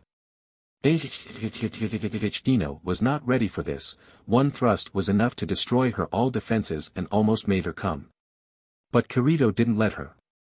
He immediately stopped the lightning element and completely stopped his movement of fucking her. Ino was shuddering and rubbing herself against Kirito's dick by slowly moving her hips while her hands were still pinned down by Kirito. Ino no, why? Why are you stopping? Ino asked like a kicked puppy. Desperately looking for relief as she was very close to climax. Kirito had a smile on his face and asked. If you want it then call me Hokage-sama and tell me that you are mine, you are mine and mine alone. You are my slut, those lines were not in Minato's memories but he added it as he was having fun playing with Ino. Kirito after giving a badass response, which he will later realize after coming out of his Chunibyo phase, that it was embarrassing as hell, finally came to the cave, and he sent his clone earlier. He saw the dark cave was already filled with many seals and a lot of living sacrifices were readied for ritual. He took his place, unlike in the canon he didn't need the Shinigami masked, thanks to his cheats he could just summon the Shinigami with just a little blood lost and expending one year of his life, nothing when it's compared to the entire motherfucking war in front of him. Clone had already bought all the sacrifices and even made them ready to be killed. Kirito took a deep breath and started the hand signs, and with a kunai cut open his palm, much more blood was required for this than a normal summon contract. Shinigami summon, Kirito said and slammed his plan on the ground, letting the seal be soaked by his blood. There was no puff of smoke this time around but rather the place was covered with a pitch-black shadow, like someone spilt ink in the entire room. Kirito waited and soon a horrifying image of the Shinigami started to appear in front of him. I hope that system didn't screw up with me here. I don't want to die in such a lame way, Kirito joked to himself in nervousness. The Shinigami didn't say anything but this feeling were transferred to Kirito. He wanted to know why Kirito summoned him here and what he wanted. Kirito went on explaining the entire details about bringing back the souls of the dead Hokage but the more Kirito spoke the more unhappy Shinigami became. But thankfully he didn't deny the request, apparently, the system really did give some control and command to Kirito over the Shinigami. In a realm where the boundaries between life and death were as thin as a wisp of smoke, a forbidden jutsu known as Edo Tensei lingered, waiting to be unleashed. Thank God that Kirito didn't have to cut open his own stomach like Orochimaru did in the anime. The atmosphere crackled with malevolent energy as Kirito performed the intricate hand signs, invoking the ancient and ominous Edo Tensei. The ethereal realm trembled as the Shinigami fulfilled its end of the bargain, releasing the souls of the deceased Hokage from the cold embrace of the afterlife. But of course only in exchange for the sacrifice Kirito prepared for him. The first to emerge was Hashirama Senju, the god of shinobi, his majestic presence casting an awe-inspiring aura. Following him were the stoic Tobirama Senju, and the fiery Hiruzen Sarutobi, although Kirito really didn't want to summon this old monkey they needed as much fighting power as possible, and the man he wanted to meet the most Minato Namikaze, his father and the source of all the power system given to him. As the Edo Tensei's jutsu bound their souls to the mortal plane, the once lifeless bodies of the Hokage now moved with unnatural vigor. Kirito started making hand signs after Shinigami was gone, he never really wanted to control the past Hokage really, that would make him unable to fight himself in the main battle, as he needed to control them all the time, he just wanted to bring them back and give them their conscience to let them fight on their own, it's just that Kirito has the power to control them whenever he wanted and that's it. He relatively signed in relief as all the souls of the past Hokage came in and he was not late. If it was Orochimaru who did this first then his side would have suffered a lot. He then slowly started another set of hand side to finally let the other set of sacrifices he prepared to bring the Hokages to life. Soon the life of the captive started to die down and the light in the eyes of the past Hokage came to life. And then suddenly, all of them blinked like suddenly they all woke up from a long dreamlike state, looking around and looking at their own bodies. Hashirama Senju, the first Hokage, blinked in astonishment as he found himself standing once again on the soil of the living realm. His eyes widened, and for a moment, the god of shinobi was rendered speechless. Tobirama Senju, the second Hokage, surveyed his surroundings with a mixture of confusion and curiosity. He arched an eyebrow, processing the reality of his unexpected return. Somewhere he realized what just happened, after all, he is not the creator for nothing, this was his own technique after all. Hiruzen Sarutobi, the third Hokage, furrowed his brow in disbelief, his wise eyes darting around as if trying to comprehend the impossible. A hushed murmur of, what is this, escaped his lips. Kirito on the side just wanted to order him to shut up but let it slide, he didn't want to make a first bad impression on the past Hokages. Minato Namikaze, the fourth Hokage, blinked rapidly, his sharp senses catching up with the sudden change. The yellow flash couldn't hide the surprise etched across his face. But he was more surprised by the man in front of him, not a man, he was still young maybe 16 at best, but the real thing which stunned him was the face of the man. He saw his own face like he was there standing when he was only 15 or 16 years old. Kirito watched in awe as all the past Hokage slowly got their consciousness back and started talking, but he didn't dwell his time on others much, as he was more focused on a man who looked exactly like him. This man was none other than his father, Minato Namikaze. Minato you are here too. Sarutobi Hiruzen looked surprised and looked towards his successor and even his predecessors. Saru, you are old.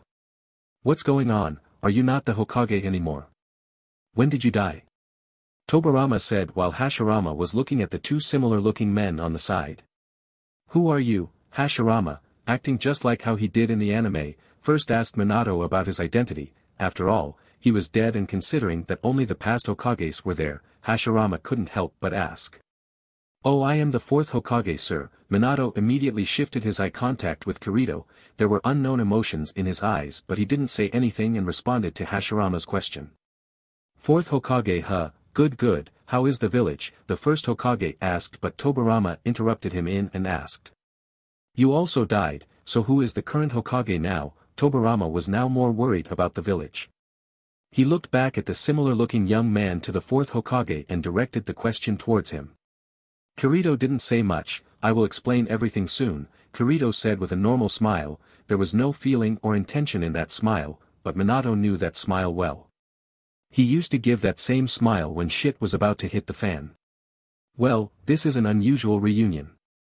Last time I checked, I was fighting the Nine Tails, Minato said, trying to keep the conversation rolling. Tobirama frowned not getting the answers soon but he decided to wait, considering that Kirito hadn't outright controlled them, and even given them full control of their bodies back, he didn't consider Kirito an enemy at least not yet. Maybe the first thing we should ask is how come the fourth and man with one hand here looked so alike, Hashirama asked. Hiruzen on the side signed, he knew what was going on, at least who was standing in front of him. Kirito, what happened to the village after Orochimaru attacked us, why did you summon bring us back, Hiruzen asked trying to use his old I am Hokage, listen to me, card again. Konoha handled the situation but we are in much more trouble now. Need help to fight the upcoming war. Kirito didn't dwell on the question much and answered in bullet point format. On the side though, Minato's eyebrows rose, he was trying to figure out which child of his was in front of him, Naruto or Kirito. Now that was clear, not like he couldn't tell after not seeing those whisker-like birthmarks on his face anymore. Hashirama, the first Hokage, looked at Kirito with a raised eyebrow. The World War brought all the bad memories back like a tide, so, young man, care to explain why you brought us back from the afterlife? I was in the middle of a shogi game with the Mito, Hashirama said, and this instantly eased the tension around the room, Kirito now was honestly wondering whether souls can really meet in the afterlife. In the anime we did see that happening but this world was different and many things which happened in the anime didn't happen here.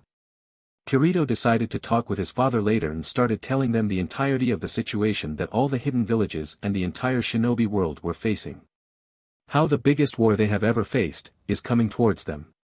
After the impromptu lecture about the current times, there was silence in the room, Kirito explained how Madara was here to start war and activate his Moon Eye plan.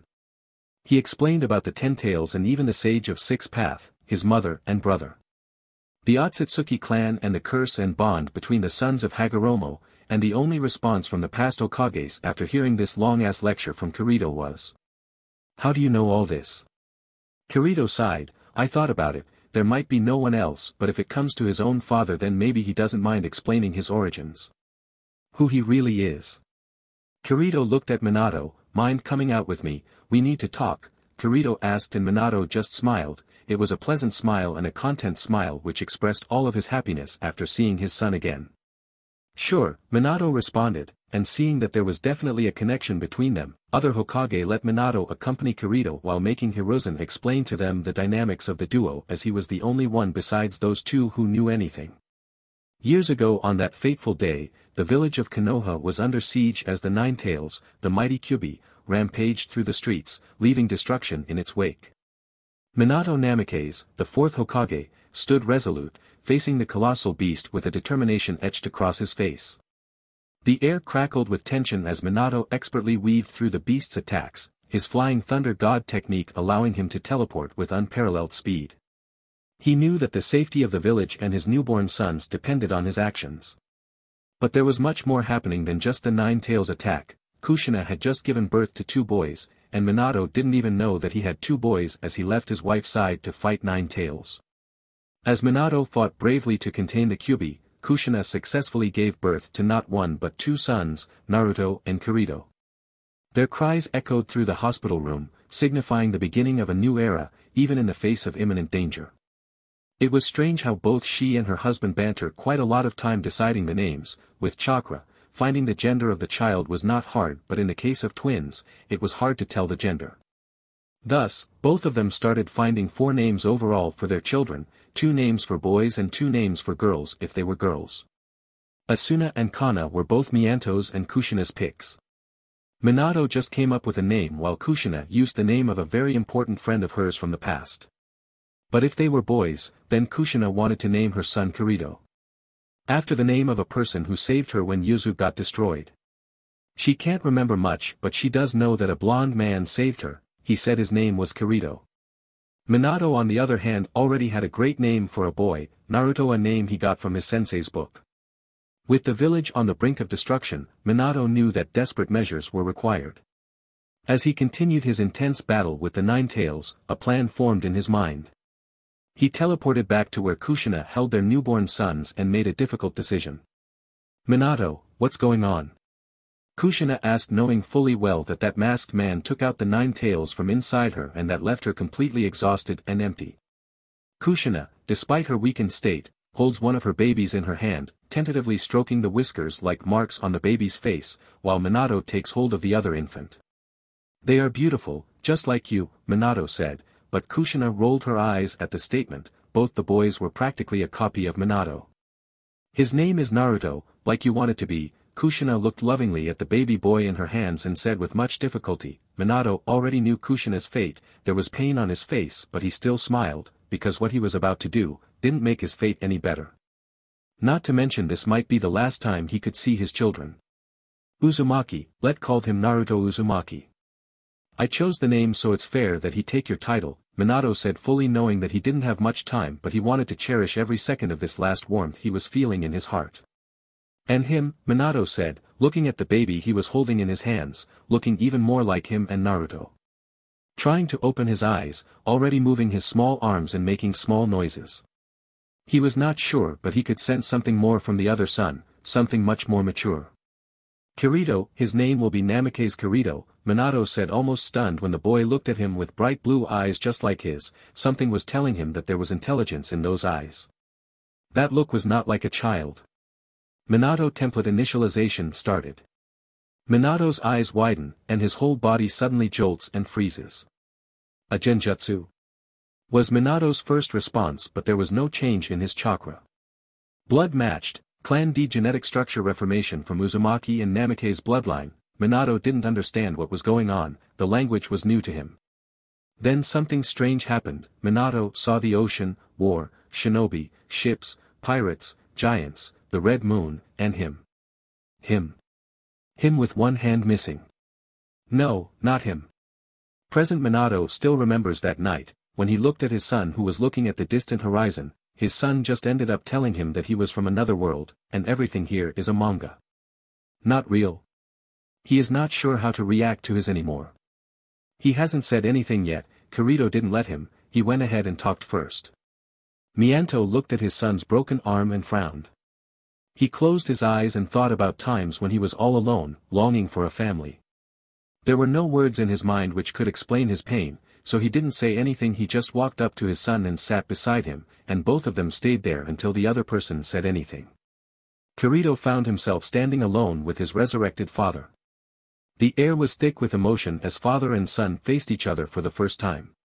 Kirito before even talking to Minato, explains the situation the entire shinobi war was in and also his own identity as an otherworldly traveler. Son, Minato after both of them were quiet for some time finally said, the word was foreign to Kirito now, he had parents in his previous life but not for long, and here too, he just grew up all alone. Kirito couldn't contain the emotions welling up inside him. He hesitated for a moment before rushing into Minato's arms. The warmth of the embrace was both comforting and surreal. Fuck if the reader calls him gay, he just really wanted to, he can act all sigma all day around but everyone needs emotional support, it's strange how Kirito never met his father in person before but after seeing him just once knew that he was weak in front of him and he won't judge. Not like he was acting weak, longing for parents is not weak, it is humane, longing for someone you can call your own is a privilege that only a few have in this godforsaken world. Naruto is always there but he can't be like this in front of Naruto, Kirito always acts like Naruto's emotional pillar and support, like a strong and reliable brother. Only in front of Minato, that he can just let go and relax.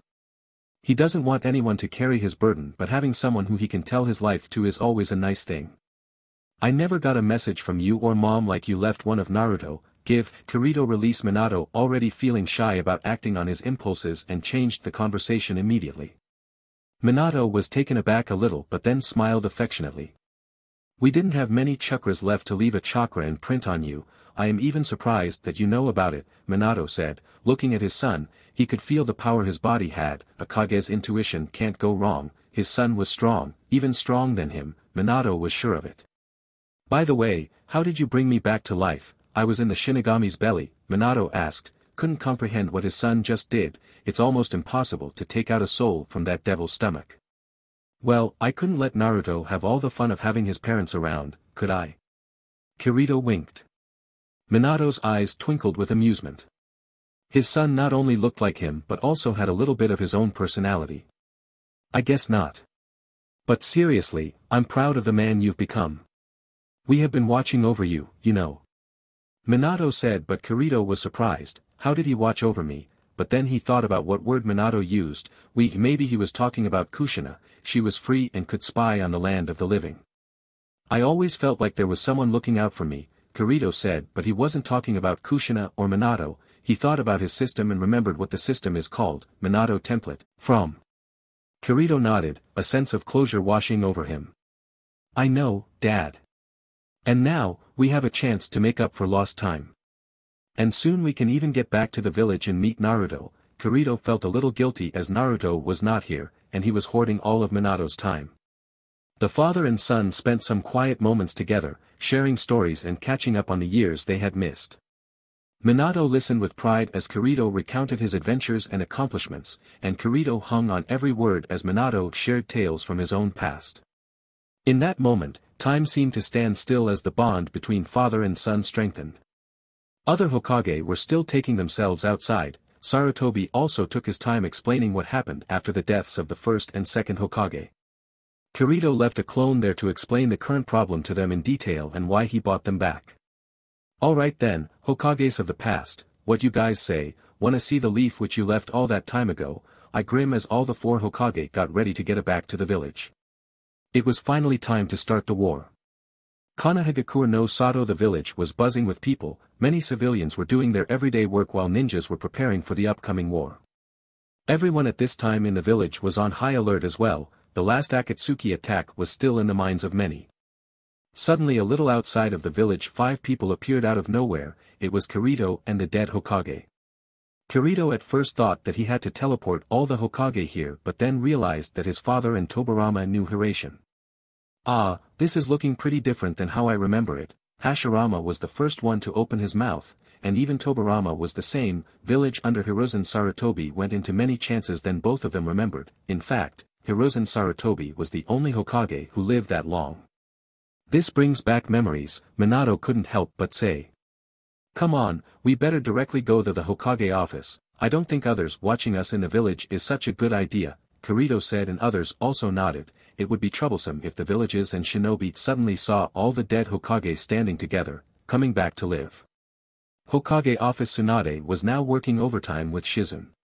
Tsunade grew after seeing Shizune bringing more paperwork for her, the heartless woman would not even let her drink or gamble after the war was announced. She understands that it's not the luxury that she can afford right now but still. Geez. She sighed and looked outside of the village, the entire village was on high alert, and many of the shinobi who went outside to perform the mission after the pain attack to boost the economic situation of the village were called back. Finally, the calm of almost 20 years in the shinobi world was about to break as another war was on the horizon, the only difference was that this time, it was not shinobi again shinobi anymore. This time the stakes here are much higher, this time if they lose maybe the entire human species might come to an end. She was staring at the village outside when suddenly a blur happened and in the office were standing many familiar figures. The ANBU hiding in the shadows to protect their Hokage immediately wanted to act but considering that Kirito usually used this method to come inside the office even after being repeatedly scolded by the Hokage-sama, they didn't directly act. But when they realized just who were standing in front of them, they almost lost their footing. Tsunade and Shizune, also used to Kirito's habit of coming unannounced didn't react much but they were baffled the moment they saw two Kirito standing there with what can they only say was the dead Hokage of the past. G grandfather, Tsunade was the first to react and her reaction was almost like Kirito's anticipated. Kirito, what's going on? Shizune came out of the daze even before Tsunade and asked in a baffled tone. Kirito just smirks. Minutes later it took some time to explain to Tsunade why Kirito ended up summoning the dead Hokage and brought them here. She didn't like Kirito playing with the dead but when she realized that there was a possibility that Orochimaru bring them back if he hasn't done it and then the Shinobi Alliance had to fight the yellow flash of the leaf, the professor, the creator and the god of the shinobi himself alongside Madara freaking Uchiha. Kirito even heard the sound of gulping from the hidden ANBU. Well then that changes things, but you should have told me this before, Tsunade still angry reprimanded Kirito. Kirito though being a thick-skinned bastard just shrugged it off and didn't say that Hokage are not the only one he gonna bring back. He just reincarnated them early because in their cases, he or even Orochimaru might not have needed their bodies. Only DNA with the right sacrifice and a way to bring back their souls from the stomach of a devil would have sufficed. Before you start talking about business, tell me where is Naruto. He will kill me if he knows that father came back and I didn't let him know, Kirito joked but at the same time spread his senses to track him. But there was no sign of him, and by the calm but awkward face of Tsunade, he could tell that Naruto was not in the village but at least safe. Hmm, yeah about that, Tsunade started. Let me guess, you send him somewhere safe to protect him, Kirito completed the sentence before Tsunade could. Yes, Tsunade said and Kirito knew what came next, she wanted to send him there too. Yeah like that will happen. Readers are here for action, not him to play house with his brother in a training camp. Naruto should be with Killer Bee if things went like a canon. Don't bother, I ain't going and no, no order can chance that. If you want to send me there then make me. Kirito said and a little haki was already on his voice. Hashirama, Tobirama, Hiruzen and even Minato who were silent up to this point were a little stunned. They knew that Kirito was the Jinchuriki of Nine-Tail and it was only natural that he was strong but this extremely suppressing feeling and pressure they felt for just a second was not like a Jinchuriki, they were the Hokage, they knew how that felt. In fact, they felt that this was not even chakra in the first place. Hashirama's eyes shined, Tobirama was the most interested now in Kirito and his strange ability, Minato on the other hand suddenly remembered the time when he was fighting the Nine-Tail and held his son for the first time in his hand, that strange notification. Hiruzen Sarutobi on the other hand stood in the place he was standing like a statue, he had felt this power before, the man who saved Kushina all that time ago and brought her back to Konoha. Hiruzen had had a talk with him before, that was the only second time he felt how insignificant his power was against those who were truly strong. This presence was exactly similar to him, now he also noticed that Kirito was wearing similar clothes to that man, he too had only one hand and a sword on his side. But that man was tall, maybe taller than even Jiraiya and had red hair with a scar on his face. He never told his name but Hiruzen always thought that he was a Uzumaki. Forms of sweat form on his face, he never thought that possible as he was not truly alive right now, he was an Edo Tensei. Huh, I didn't know that you were this strong, Hashirama broke the tension and said. Nah, I am still nothing in front of you, Kirito said the truth, he meant it, Hashirama Senju is strong as hell. Anyway, do you have anything besides that to talk about, Kirito asked, and Tsunade who couldn't change Kirito's mind just shook his head. She sends an angry glance at Minato to express her dissatisfaction with his son but he just laughs nervously. Then Tsunade sat across from Kirito and other Kages and started to talk about the looming threat of Madara and the Fourth Great Shinobi War. Kirito, I know this is a lot to take in, but the situation demands clarity especially all all of you joined in, Tsunade paused and looked at the Edo Tensei Hokage and then with a sigh started again. Madara is after the tail beast, if you refuse to back down then I can let you join the war, others don't know that you are also a Jinchuriki anyways. Kirito nodded, his expression serious as he absorbed the weight of the information. The alliance is strong but it lacks unity, and above everything, we are not clear what exactly we are up against this time around, Tsunade said knowing fully well that Kirito knew something and continued. We've gathered intelligence, and it seems that Madara is planning to enact the Eye of the Moon plan. This would plunge the entire world into an eternal dream, a genjutsu from which there is no escape. Tsunade said and Kirito now wondered how Tsunade knew this information, considering Obito back then never talked anything about the Moon Eye plan being a genjutsu, he got really curious but didn't ask. That sounds ominous. What's the plan? Kirito asked this instead. Tsunade leaned forward, her eyes determined. We're forming a united front with the other villages, Leaf, Sand, Mist, Stone, and Cloud. Our combined forces will engage Madara and his army in almost every plane from here to their headquarters, mainly splitting the main army into small armies of four or five. However, we're not just relying on sheer strength, we have a strategy. You would have known this if you didn't leave the meeting with little to no prior notice and those cheesy lines. Tsunade sends a glare at Kirito who him being the thick skin he is, just brushes it off. On the side, Tobirama, Minato, Hashirama and Hiruzen listen attentively as their knowledge is only limited to what Kirito told them and he doesn't say anything about his knowledge of the canon but just what was happening, only Minato knew about him being a reincarnation. Minato still couldn't believe reincarnation, it was very hard to believe but he believed his son not to mention, that suddenly notification when he held Kirito for the first time, was also there. He remembered seeing sea and pirate in his vision and now was wondering where Kirito was a pirate in his previous life. Tsunade unfolded a map, revealing a detailed plan of action. The main battlefield is divided into five different locations and multiple units under unit commander will be sent there.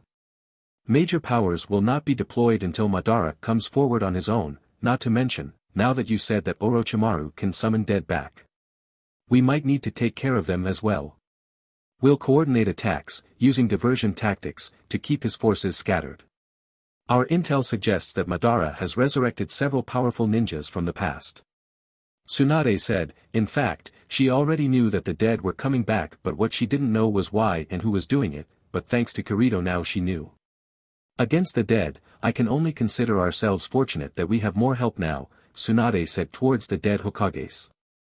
Now you all are a crucial part of our strategy. Minato, grandfather, granduncle, and sensei please fight alongside us.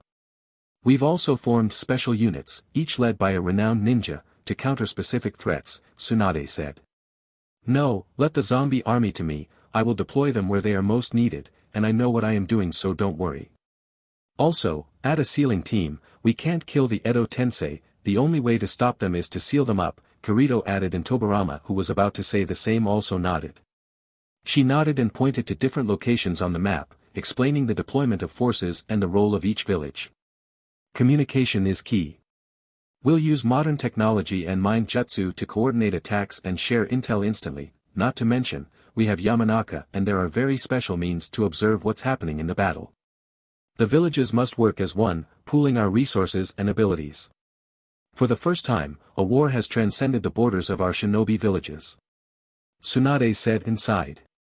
For Hashirama this sounds quite close to what he always wanted to achieve while other Kages just couldn't believe that really a time would come when the five big villages would work together. After digesting all the info Kirito finally said. It's a lot to take in, but I'm ready to do whatever it takes just let me out and do my thing, I am best when I am in control of my movement. There was also the fact that someone had to stop Orochimaru, only that way can the Edo Tensei be stopped. I agree and I believe that that not only about you and thus I want you to command the war in the center, Tsunade bruised Kirito's bubble of going after Orochimaru. Shit, Kirito couldn't help but mutter under his breath.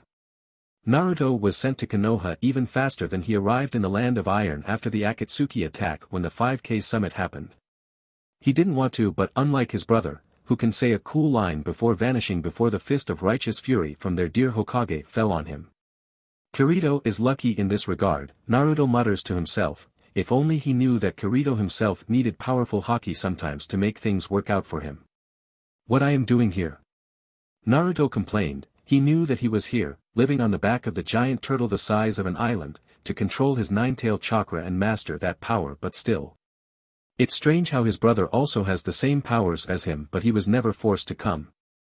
Well, he hardly uses nine tails powers. Who I am trying to kid here, Kirito is much stronger than me, don't know whether he can use Nine Tail chakra or not but he hardly needs it, Naruto mutters to himself and suddenly remembers his brother's broken arm. There was guilt and pain inside him about that, he didn't fight alongside him, he should have, he wasted too much time on Sasuke, but he should have been there, fighting alongside Kirito. And then he remembered why he agreed to come here in the first place, it was power, it was so that he could get stronger, so that he could save his brother, his friends and everyone else. And with that, he stood up and once again entered the room to train with Eight-Tail Killer Bee. Apparently, just like in the anime, Killer Bee was not killed, in the canon he was attacked by Sasuke, and here he was attacked by Itachi. Kirito could have believed that Sasuke could make a mistake but not Itachi, most likely that Itachi let Killer Bee go. Unlike the canon, there was no Kisame to find out the location of the Turtle Island this time around and thus there was no attack from any Akatsuki members either, not like Obito or Madara had any spawns to spare anyway. Almost all the members of the Akatsuki were dead and even their bodies were collected by Kirito. In Akatsuki hideout two people were walking side by side, one was wearing an orange mask while the other had facial features like a snake.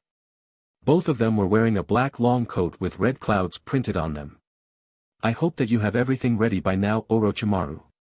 I will not say this again, stop wasting my time or I will kill you, Obito said with zero expression on his face.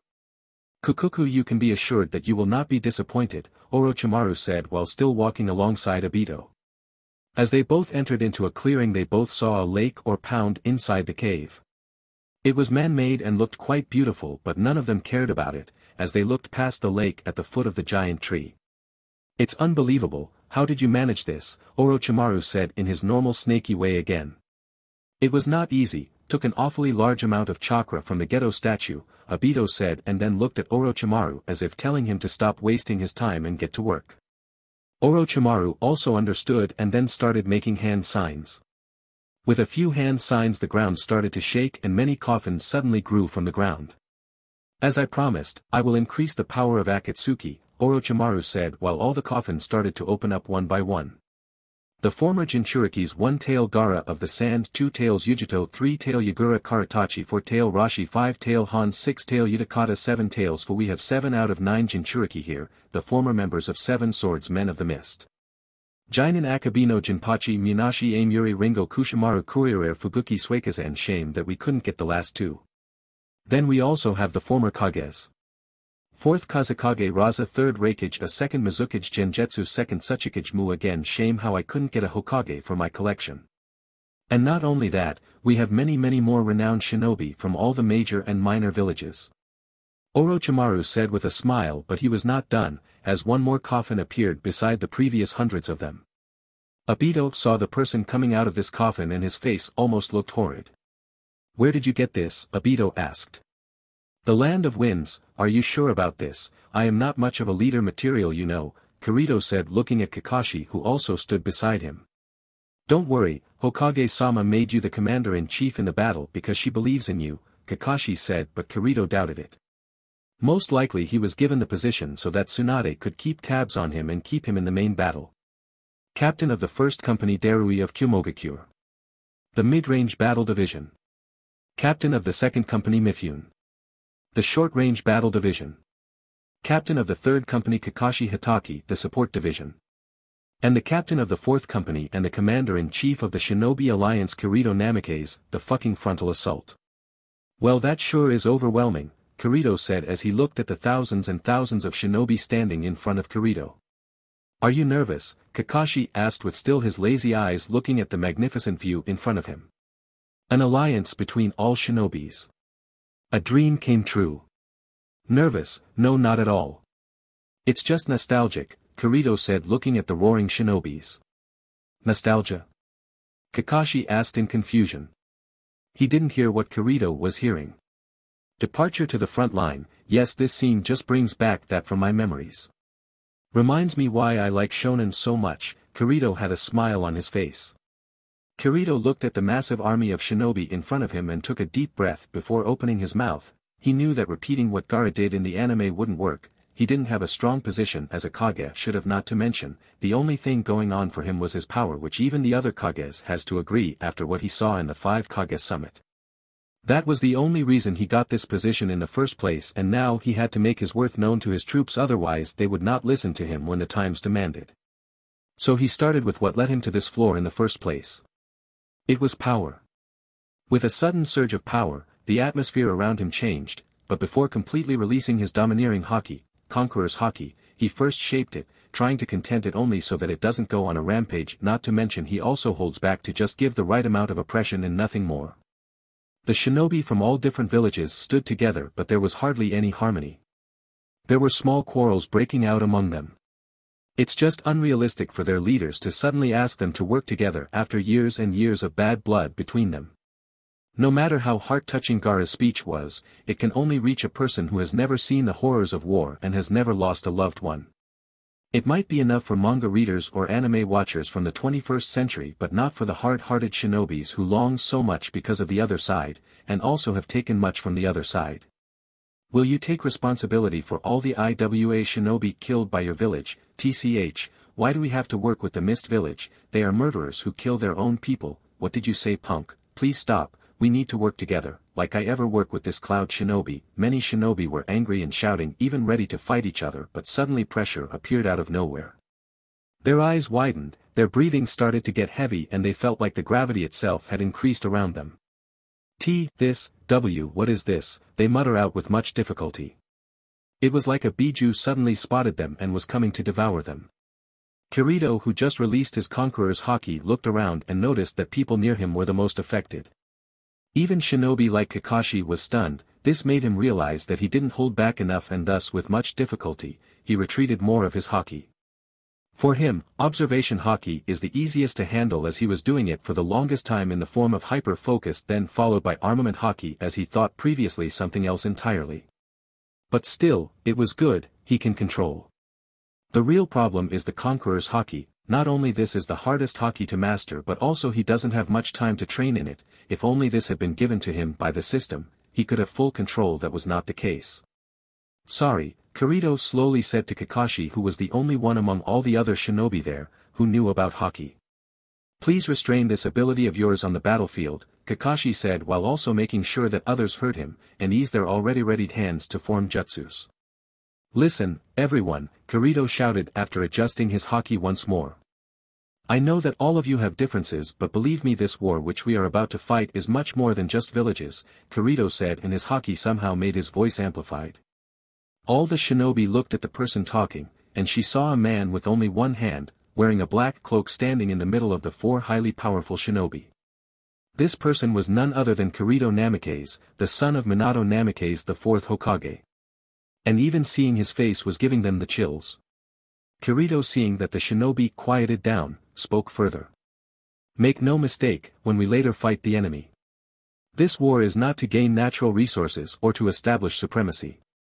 Let me remind you again, if we lose, the shinobi kind is doomed, if we lose then humankind is doomed and if we don't win then the next person who dies will be our family and friends. This time the enemy will not be a fellow human, Kirito said, revealing something that he officially shouldn't know but he didn't care and told the truth anyway. Since I was born, there was one thing which I was forced to accept. That we are shinobi, and we fight to save our loved ones, we fight because we have to. Once again the situation has come to this where we have to fight. But I am glad that this time around, I will not be killing any humans, a fellow shinobi who just wants to end the fight and go back home. So here I am, asking all of you to work with me, help me and your fellow shinobi, because for the first time in history, we have a chance to fight together, for the first time in history, there is no broken truths and lies. There is just one truth and one lie. For the first time, we stand here not by the name of a nation but as shinobi. Let all your fury this time be directed toward the one true enemy, without any guilty conscience. For this one let us stand together and fight side by side. Kirito said, honestly he wasn't even planning to give a prep talk but something after remembering the music, departure to the front line, changed inside him and thus for the first time he opened his heart and said what he truly felt. Not shabby, not shabby at all, Kakashi from the side said and showed a thumbs up. Finally, after the cheers died down, the entire army was ready to mobilize. All four companies got ready and started following their company's leader. All captains took their official place right the front of the entire company and started their march as the mighty army of shinobi followed them. The first company was led by Darui, and they were going towards the rocky plain to stop the march of the enemies from there. The idea was to not let any more powerful enemy move towards the other party. The second company was led by Mifune, which was directed towards the mountain area to again block that part. The third company was Kakashi and he was with Guy. They were moving towards the forest area to clear the road until they met Company 1 of Darui in the coastal area. And lastly, it was Kirito who was marching with his company towards the desert area, the most important area as it's close to the base of Akatsuki. Darui led the first company of the allied shinobi forces to the rocky plains, a battleground against the impending White Zetsu onslaught. The air was thick with tension as they braced themselves for the approaching enemy. As the first rays of dawn broke, the earth trembled, and the ground cracked open, revealing a horde of white Zetsu emerging from the depths. Darui's eyes narrowed, and he raised his hand, signaling his troops to prepare for battle. First Company, hold your ground. We can't let these Zetsu overrun us. Darui shouted and the white Zetsu, eerily reminiscent of twisted trees, closed in with a menacing pace. Darui, a master of the lightning release, weaved through the battlefield, leaving trails of afterimages. His black lightning danced across the rocky plain, striking down Zetsu after Zetsu. This was the first time, the shinobi were fighting something like a white Zetsu and clearly, it was not like any traditional enemy. However, the unexpected happened. From the shadows of the rocky terrain, Edo Tensei began to emerge, a fallen ninja from different eras, reanimated to fight once more. The first company faced a new challenge as the battlefield became a clash between the living and the dead. This was a twist as although they were told that Orochimaru would be using the Edo Tensei technique against them it was still hard to fight someone dear to them who they lost long ago. Darui, undeterred, faced the Edo Tensei with his signature black lightning-infused kenjutsu. He parried the strikes of legendary warriors from the past, each clash echoing through the rocky expanse. His first company, though initially taken aback, followed Darui's lead. They fought valiantly against the Edo Tensei, their resolve unwavering. Darui's strategic brilliance shone as he coordinated his forces to counter the unrelenting waves of adversaries. Although quite more in numbers White Zetsu did not have as skills as the battle-hardened shinobi. But while they lack in the pure power or skills, they fill that gap with their regenerative powers and the fact that they can imitate any shinobi on the battlefield. Amidst the chaos, Darui's Ranton, Storm Release, Jutsu illuminated the battlefield. Arcs of powerful lightning surged through the air, cutting through both Zetsu and Edo Tensei alike. The rocky plain became a spectacle of elemental clashes and intense combat. Darui's voice cut through the tumultuous battlefield, their objective was to completely cross the rocky plain and then move towards the coastal line as soon as possible. Mifune was the leader of the samurai and a stoic and seasoned captain of the 2nd Division, led his elite company to the mountainous terrain, a critical location in the impending clash against the formidable enemy forces. The towering peaks presented a strategic advantage, and Mifune intended to nullify it by securing the high ground for the allied shinobi forces. Although the mountain range was nowhere close to the main hideout of the enemy it was an important key position which the shinobi alliance had to defend. As the second division ascended the rugged slopes, Mifune's piercing gaze surveyed the surroundings. The wind whispered through the mountainous crags, carrying a sense of anticipation. His company, a well-disciplined group of skilled warriors, followed his lead with unwavering determination. The rocky terrain echoed with the unsheathing of swords and the clinking of armor as Mifune's company assumed their positions. Their eyes remained fixed on the ascent, vigilant for any signs of approaching adversaries. The enemy, well aware of the strategic significance of the mountainous region, soon emerged from the shadows. Mifune's analytical mind quickly assessed the situation, and he signaled his company to hold its ground. Maintain formation. We won't allow them to claim this vantage point, he said with much determination. The clash began as the enemy forces attempted to scale the mountainside. Mifune's katana flashed with precision, cutting through the opposition. His leadership inspired the second division, and they fought with a synchronized grace, repelling the enemy's advance. Mifune's strategic brilliance unfolded as he directed his forces to exploit the natural choke points of the rocky ascent. His company utilized the terrain to their advantage, turning the mountainous battlefield into a fortress that thwarted the enemy's attempts at a coordinated assault. As the battle intensified, Mifune's unwavering resolve and tactical acumen resonated with his soldiers. The mountain echoed with the clash of steel, the shouts of warriors, and the rhythmic footfalls of the second division holding their ground. Under the dappled sunlight filtering through the dense foliage, Kakashi Hatake, the future sixth Hokage, led the third division into the heart of the vast forest. A seasoned tactician, Kakashi's strategic mind was complemented by the presence of his eternal rival, Might Guy, at his side. Together, they sought to utilize the intricate terrain to their advantage in the unfolding conflict.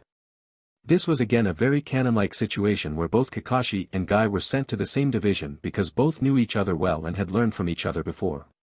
As the division moved deeper into the forest, the air thickened with the scent of moss and the distant murmur of leaves. Kakashi's single eye darted around, assessing the natural features that could be leveraged against the impending enemy forces. Keep your senses sharp. The forest provides cover, but remember that the enemy is more adapted to the forest than we are, Kakashi said. Guy, sporting his customary green jumpsuit, grinned with unbridled enthusiasm. Fear not, Kakashi my friend. With the power of youth and your strategic brilliance, victory is assured. Guy added from his side. Kakashi smirked, appreciating Guy's unwavering optimism even in the face of battle. Although he never showed up to others he cherished this friendship of theirs. The 3rd Division navigated through the labyrinthine network of trees and underbrush, maintaining a formation that spoke to Kakashi's tactical prowess. Guy, ever the energetic warrior, encouraged his comrades with uplifting words and a contagious spirit. As they progressed deeper into the forest, the enemy forces revealed themselves, masked figures moving stealthily among the trees. Kakashi's Sharingan whirred to life, and he signaled his division to prepare for engagement. The thunder rumbled ominously as Darui and his elite company faced the formidable duo of the Gold and Silver Brothers, Kinkaku and Ginkaku. The air was charged with tension as the battlefield crackled with impending conflict. Darui, wielding his versatile Ranton, Storm Release, Jutsu, stood at the forefront, flanked by the skilled Samui. The Gold and Silver Brothers, bearing the legendary treasured tools of the Sage of the Six Paths, advanced with malevolent grins. He had to take them considering the other shinobi were not a match for the brothers. Samui, be on guard. These two are more dangerous than they seem. And don't reponse to them, Darui said. Samui nodded, unsheathing her twin blades, infused with the power of lightning. I've heard stories about their prowess. We can't afford to underestimate them. Samui responded. The brothers, empowered by the tools that granted them incredible abilities, lunged forward with unparalleled speed. Darui and Samui moved in unison, their movements synchronized to counter the onslaught. Darui's black lightning clashed with Kinkaku's brute strength, while Samui gracefully evaded Ginkaku's attacks. The battle unfolded in a blur of elemental clashes and swift maneuvers. Darui's Ranton surged, creating arcs of powerful lightning that danced through the battlefield. Samui's blades cut through the air with precision, leaving trails of sparking energy. Kinkaku, the Gold Brother, unleashed his menacing chakra, transforming into a colossal, golden-skinned form. Darui gritted his teeth, recognizing the threat posed by this formidable transformation. This chakra, it's similar to Lord Beat Darui muttered under his breath. Samui responded with a swift nod, deflecting Ginkaku's strikes as Darui prepared a decisive counterattack. Channeling the power of his Black Panther, a manifestation of his storm release, Darui unleashed a torrent of black lightning. The battlefield erupted with intensity as Darui's technique clashed with Kinkaku's colossal form. The very air crackled with the clash of opposing forces. Samui, showcasing her agility, moved with unparalleled grace, countering Ginkaku's relentless assault. In a moment of synergy, Darui and Samui synchronized their attacks. Darui's black lightning enveloped Kinkaku, exploiting a vulnerability in his colossal form. Samui, seizing the opportunity, unleashed a barrage of lightning-infused slashes, striking with precision. And they were not the only ones fighting a tough battle. In the heart of the battlefield, Mifune, the masterful samurai and captain of the 2nd Division, found himself facing an unexpected adversary, Hanzo of the Salamander, resurrected through the dark art of Edo Tensei. The air crackled with tension as the two skilled warriors locked eyes, memories of their past encounter resurfacing. Mifune, with his katana at the ready, surveyed the battlefield, ensuring the safety of his second company. Hanzo, adorned in the tattered remnants of his former attire, emanated an eerie presence as he prepared for the clash. Hanzo, even after death, you are creating issues for others. You once spared me, but I don't have the luxury to do the same today here to you, Mifune said. Hanzo, his eyes devoid of emotion, merely grinned. The infamous salamander was ready to engage in a battle that echoed the history they shared. The clash began with the swift draw of Mifune's katana, its gleaming blade reflecting the grim determination etched across his face. Hanzo, a master of poisons and swift strikes, moved with otherworldly agility, evading Mifune's initial onslaught. Mifune's second company watched with bated breath as the two legendary figures clashed in a dance of steel. The echoes of clashing blades reverberated through the battlefield, the clash of philosophies and the weight of history embedded in each strike. Mifune, you always did have a flair for the dramatic. How amusing to cross blades once more. Hanzo said with a laugh. Mifune's response was a silent dedication to his duty. With each swing of his katana, he aimed to protect his comrades and ensure the safety of the alliance. Hanzo, fueled by the relentless nature of Edo Tensei, countered with deadly precision. The battlefield became a canvas of martial prowess, with Mifune's disciplined kenjutsu against Hanzo's unpredictable strikes. The second company watched as their captain held his ground, determined to prove that the indomitable spirit of the living could overcome even the resurrected. As the battle reached its zenith, Mifune unleashed his signature technique, the Iaido, a swift draw and sheath of his katana. The blade danced through the air, leaving arcs of energy in its wake. Hanzo, caught off guard by the sheer speed and precision, found himself unable to evade. Kakashi and Guy with their third company also found troublesome opponents. Under the moonlit sky, the third company led by Kakashi and Guy faced an ominous alliance of the seven swordsmen of the mist and all of them were Edo Tensei. The air was thick with anticipation as the shinobi prepared for a clash of legendary proportions. Kakashi didn't have his Sharingan anymore so before the war started, Kirito offered one of the Sharingan he collected to him, it was hard to explain but he took it nonetheless, exuding the vigor of youth, stood side by side, each ready to face their formidable opponents.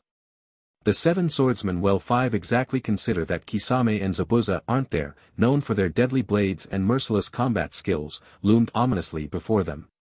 As the battle commenced, Kakashi and Guy moved in perfect synchronization, a dance of strategy and sheer physical prowess. The third company, inspired by their leaders, launched a coordinated assault against the five swordsmen. Kakashi faced the swift and elusive Jinin Akebino, known for his unparalleled speed. The clash of their techniques sent shockwaves through the battlefield.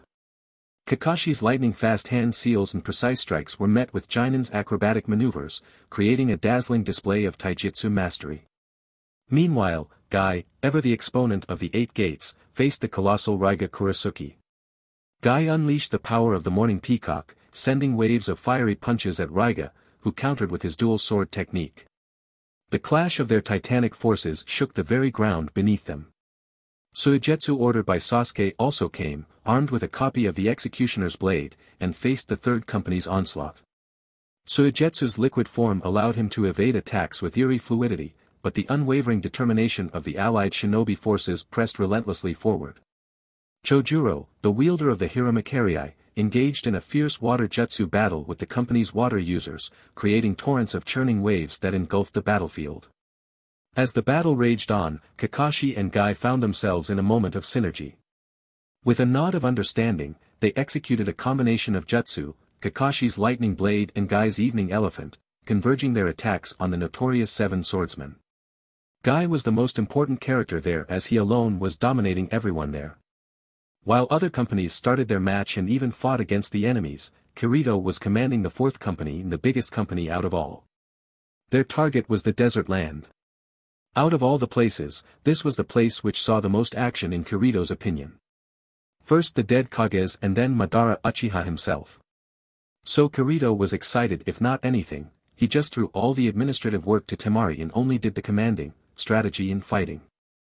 As the army moved forward, soon they were attacked by white Zetsu which came from underground, now maybe in any other place this strategy would have worked but not here when all thanks to the presence of Kirito. He spoiled the surprise that White Zetsu had planned for the 4th Division and then let the other shinobi handle them. He didn't want to waste his energy on those low-level enemies, he most likely had to take on the Kages, Madara, Obito and Sasuke too. And God forbid that last curve ball that Kishimoto threw at the end of the series also came. Fighting a freaking goddess was not something he wanted to do any time soon. While moving forward, Kirito finally senses a powerful chakra signature. No there were five chakra signatures and one of them was pretty familiar to him. Third Raikage, Kirito almost cursed out, he had still bad blood with that man, who killed his teacher. But he also noticed that there was another familiar chakra among them, it was Gaara. So Gaara is dead and this bastard even revived him with Edo Tensei, he muttered under his breath. Then he looked around, finding any capable shinobi who could go against a Kage by himself but there was none. It was quantity over quality for him, well not like he didn't have trump cards of his own. Both Gaara and Rasa are in their natural element, he has to take out them first before anything else. Kirito had no doubt that Orochimaru's control over the Edo Tensei would be better than what Kabuto was able to achieve in the canon. Halt, there are enemies coming. Prepare the traps, Kirito said to Temari, he already explained what kind of enemies they might face and of course, prepared for it. A little away from the marching army, five figures suddenly appear out of a coffin. At first, their bodies were lifeless but then suddenly their eyes opened although still pretty lifeless. They were the past Kages of four different villages. Gaara and Rasa the fourth and fifth Kazekage. Emo the second Tsuchikage. Gengetsu the second Mizukage a third Raikage as their eyes opened he saw the sand-filled area around them and frowned. Gengetsu and Mo immediately recognized themselves. Raikage though was from a much younger generation than them and the same was the case with Rasa and especially Gaara. Gaara and Rasa looked at each other with complicated expressions on their faces, like wanted to say something but couldn't. But they didn't have the time for leisure chit-chat as unlike in the canon Orochimaru made them move towards the marching army. Kirito soon was able to see the five deceased Kages coming towards them. He instantly entered into sage mode. No playing around this time, this is war, one mistake and someone dies. Kirito tried to sense his marker on Gaara but it wasn't there, fair enough. Not like he didn't prepare beforehand. Kirito, Gaara said from his side, as Kirito was standing in front of everyone while he also noticed Temari. We are not in our control. Make sure that you dodge this attack, Gaara shouted as both he and Rasa started to make hand signs. Soon a combination attack of sand and gold dust arose from the desert and rushed towards the 4th Division. Kirito didn't do anything as three clones and other member of the Sealing Division were ready according to Kirito's plan, as they appeared in front of him and inhaled an ungodly amount of air in their lungs. Wind style, Great Wind Hurricane, all the clones said while they were in Sage mode. The other shinobi were also not behind, especially those wind-style shinobi as they released their jutsu as well. With a boom a mighty gush of wind forming a hurricane blocks the upcoming sand and gold dust wave and even pushes it back, making it disperse and sending the majority of the sand backwards, blinding the Kages.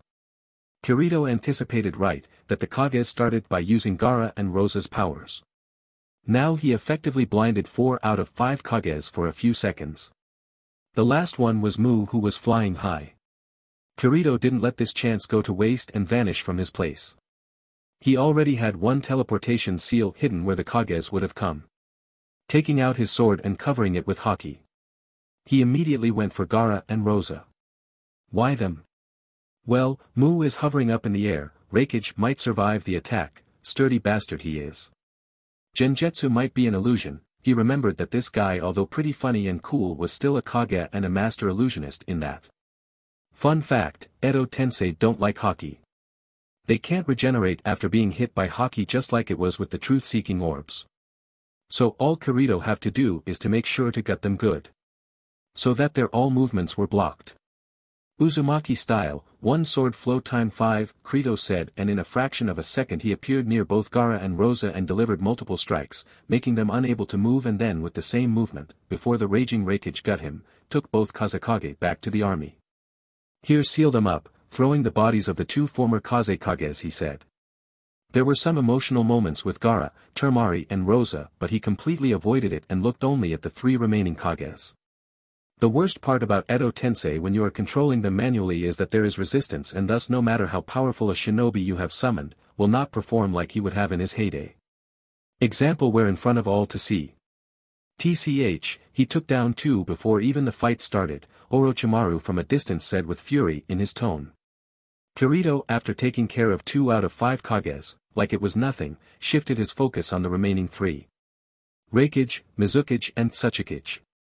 He knows that neither of them can do much damage to him, but the real problem is the army behind him. Thinking this, he had to first take out the Kage that would do the largest amount of large-scale damage. There is only one person here who can do that, he raised his eyes and saw the flying mummy who was already forming a white halo-like attack, it was atomic dismantling jutsu of the Tsuchikage. Temari, help my clones to hold back the two on the ground, I will go after the one flying first, Kirito said and after forming two more clones or support and launching himself upward towards the mummy, he went after Mu the second Tsuchikage.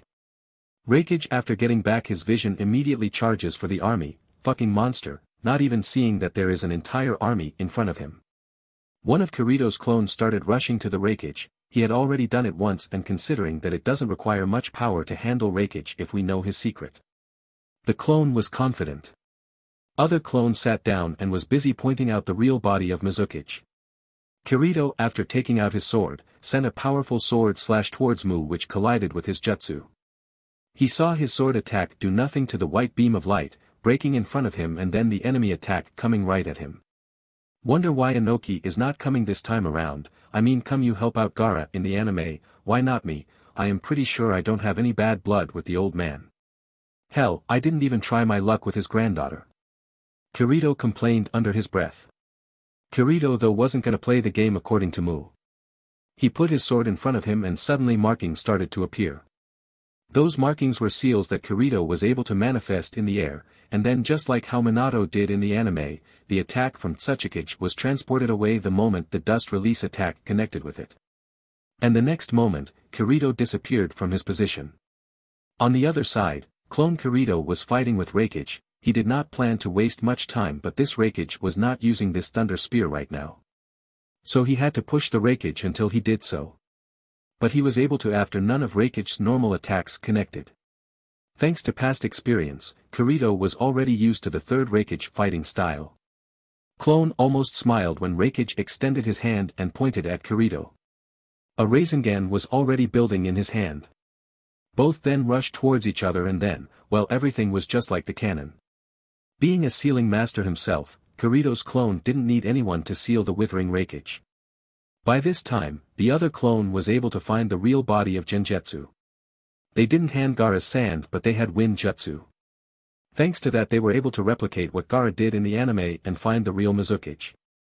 I can't believe it, he took down three of the five past Hokage already, one of the shinobi said with widened eyes with pure amazement in his eyes and horror in his voice.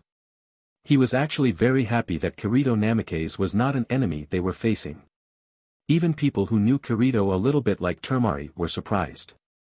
He seals my lord third with such ease, this man said a certain one-eye shinobi from the cloud.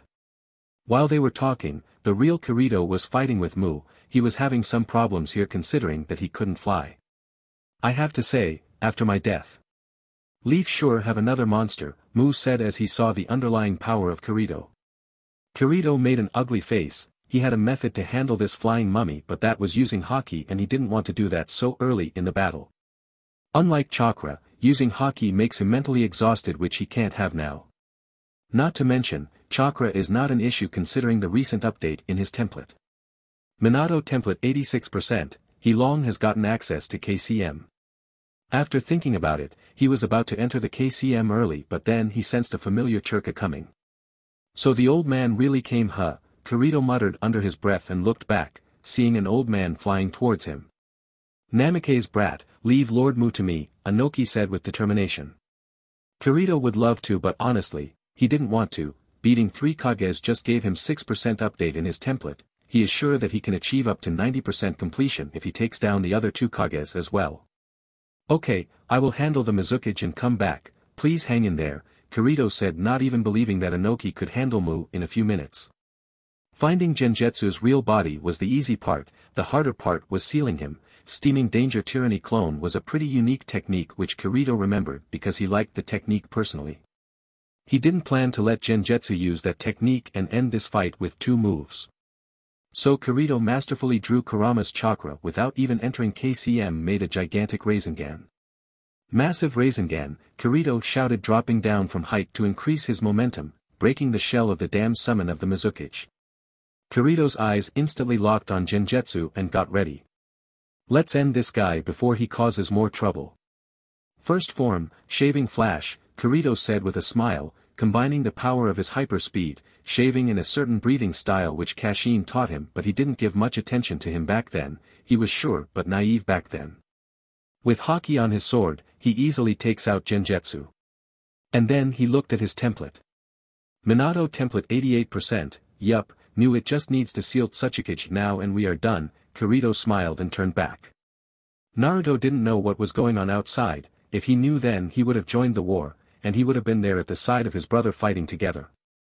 But not anymore, after seeing what was going on outside, he rushed out to join the fight, Killer Bee and Jiraiya who was there training him also followed him.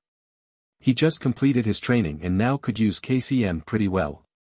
But unknown to him, escape was not gonna be that easy considering that Tsunade and Raikage was on their way to stop them.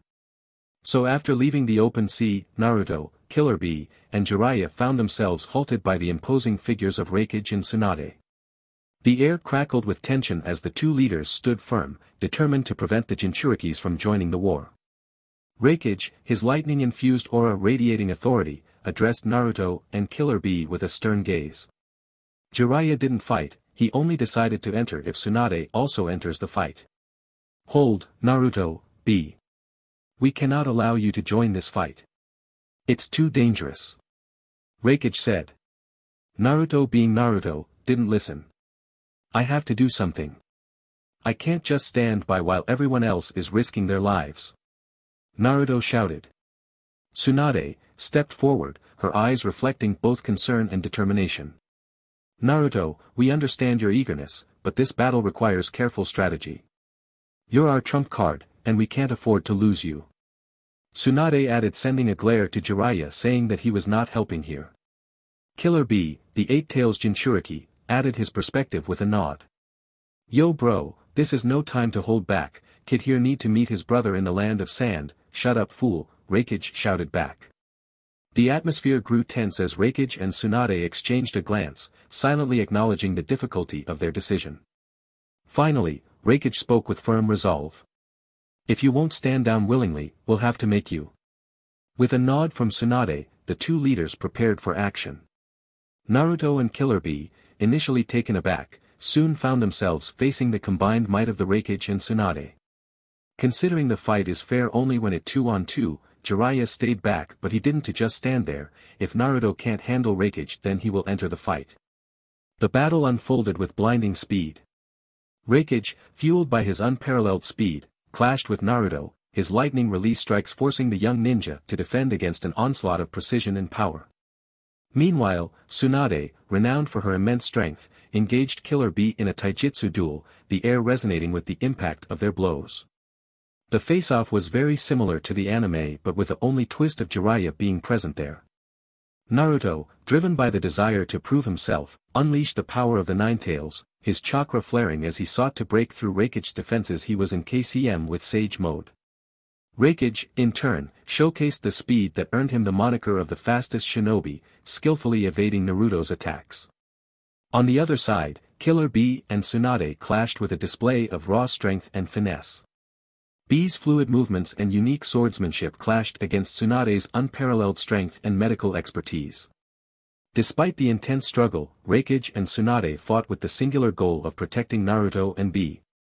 Their experience and leadership shone through as they countered every move, redirecting the young warrior's attacks without causing lasting harm. As the battle continued, Naruto's talk no jutsu was able to get to Tsunade and stop her in her tracks, now Raikage was the only problem, but what a problem is the arse he was. Things from that point onwards just went on just like anime and Naruto was able to dodge Raikage's fastest attack and considering that Jiraiya was also with them, both Tsunade and Raikage let them go. Later on, all three of them kept on going and met the two best duo in the history of anime. Itachi freaking Uchiha and Nagato Motherf asterisk King Uzumaki. Naruto, his eyes narrowed with determination, stepped forward, flanked by the Jiraiya and the Killer Bee. Itachi's Sharingan gleamed, while Nagato's six paths of pain awaited Orochimaru's commands. Naruto Uzumaki. You look like your brother, although I can say not as bright. Itachi said. Nagato, his Rinnegan piercing through the darkness, echoed Itachi's sentiment. Sorry Naruto but we are not in control, you have to beat us. Nagato said. The battle began with a blur of motion. Naruto, too was not holding back and showing his newly found Nine-Tails power. Their strikes echoed through the night, each blow carrying the weight of their shared history. Jiraiya faced Nagato, a master of the Rinnegan. The battlefield transformed into a storm of jutsu, as fire and toads clashed against the gravitational pull of Nagato's powers. Killer Bee, the Eight Tails Jinchuriki, engaged in a rhythmic taijutsu dance with the six paths of pain. His blades clashed against the mechanized warriors, each strike demonstrating the mastery of his unique combat style. But all of a sudden, he started to feel something in his stomach. The battle was getting chaotic as this time around, unlike how it was with the pages, none of them was holding back. Soon Killer Bee couldn't take it anymore and opened his mouth to vomit but instead of his puke, a black crow came out. Even both Jiraiya and Naruto were grossed out. Itachi thought knew, he was the one who put this crow inside the Killer Bee when he went to collect the eighth tails, betting his last chance to save this world, and apparently, it worked. From then on Itachi switched sides like the anime and helped them to handle Nagato. The battle reached its zenith as the living clashed with the resurrected. Jutsu collided, creating shockwaves that shook the very foundation of the battlefield. I will be going now Jiraiya-sama, I have one last mission to accomplish, he said to Jiraiya in secret sign language before leaving. The bonds you forge are truly powerful, Naruto Uzumaki, Nagato said before getting sealed by Jiraiya. Jiraiya had a hint of where might Itachi be going, he said his last mission, Jiraiya started to connect the dots, especially when he also is a Sannin. He looked back at Naruto and after some contemplation finally decided to go with Itachi, after all, he knew Orochimaru the best. Hell, he was not the only one, Kirito himself sent Tobirama to locate and stop Orochimaru. He knew that stopping Orochimaru was the most important otherwise this fight might never end. Thus the most suitable person to send was Tobirama and just to fuck with him, he also paired him with Edo Tensei Shisui after all Tobirama is a sensor and with one command from Kirito can join the fight no matter how far he is thanks to Hiraishin and Shisui might be the only person who can stop Orochimaru and even control him thanks to his Koto Amatsukami. Naruto, remember that I believe in your dreams, if you think that you can do it and you have my full support, Jiraiya internally said and left. The excuse he gave to both Killer Bee and Naruto though was entirely different. Naruto and Bee then kept on moving towards the main front line, passing through the jungle to finally reach the sand plain. But just like in the anime, he was stopped by upcoming enemies. And these enemies were on another hand the previous Jinchurikis. The air crackled with tension as the resurrected warriors, once Jinchurikis themselves, prepared to unleash their devastating powers. This time around Obito had both the Rinnegan eyes and Thies more control over the new paths of pain. Naruto and Killer Bee exchanged a determined glance before facing the Edo Tensei Jinchurikis. The ground trembled as the new paths of pain moved with eerie synchronization, each bearing the immense power of a tailed beast. It was their luck that Obito himself had not come yet, they were only facing the six paths right now the battle commenced with blinding speed. Naruto, surrounded by a vibrant aura of chakra, charged forward with Rasengans in both hands. Killer B, rapping a rhythmic mantra, ready to counter the overwhelming force of the resurrected Jinchurikis. The Edo Tensei Jinchurikis, once masters of immense power, moved with relentless precision. Streams of chakra clashed in midair as the battlefield became a canvas of vibrant colors, echoing the intensity of their titanic clash. Naruto faced a barrage of attacks from multiple directions. Each Edo Tensei Jinchuriki showcased the signature techniques of their respective tailed beasts, torrents of water, gusts of wind, and torrents of sand clashed against Naruto's defenses. Naruto even knew some of them and that makes fighting them just that much harder. Killer Bee, using his immense strength and agility, countered the assault with a flurry of tail whips and powerful Biju bombs. The battlefield erupted with explosions as the chakra-infused clashes reverberated through the air. Naruto was burning through his chakra, now his chakra was taken by Nine Tails in exchange Nine Tails was also absorbing his chakra. Naruto using his unpredictable mind, pulled off an insane stunt and gave an opening to B. Killer B, seizing the opportunity, lashed out with his eight tails tentacles, creating a whirlwind of chakra that swept through the battlefield. The Edo Tensei Jinchurikis, momentarily disoriented, struggled to regain their composure. Honestly, right now Naruto and B are getting overwhelmed, not only did the opponents have the powers of their Biju but also they had complete synergy with their actions as their vision was connected. Naruto actually never fought pain in this timeline and thus his knowledge about them is very limited. Right now, B was thinking of entering into his fully Biju mode but before he did that, another someone appeared there. This other someone was none other than Obito and beside her was Edo Tensei Konan, that bastard Orochimaru was able to even bring her back. But there was one more, Sasuke also came with him. Reminder that here Sasuke is with Akatsuki, still trying to be the hero Naruto. You should stop these pointless endeavors. It's pathetic, Sasuke's sharp remark makes a tick mark on Naruto's forehead. Yeah, so is the case with your villain career. How many times did you get your ass kicked till now? By the way, Naruto retorted, one perk of being with Kirito is that he too has a little foul mouth in the end. He had a very complicated feeling right now. Both Jiraiya and Kirito said that Sasuke is no longer an ally but he really didn't want to fight him.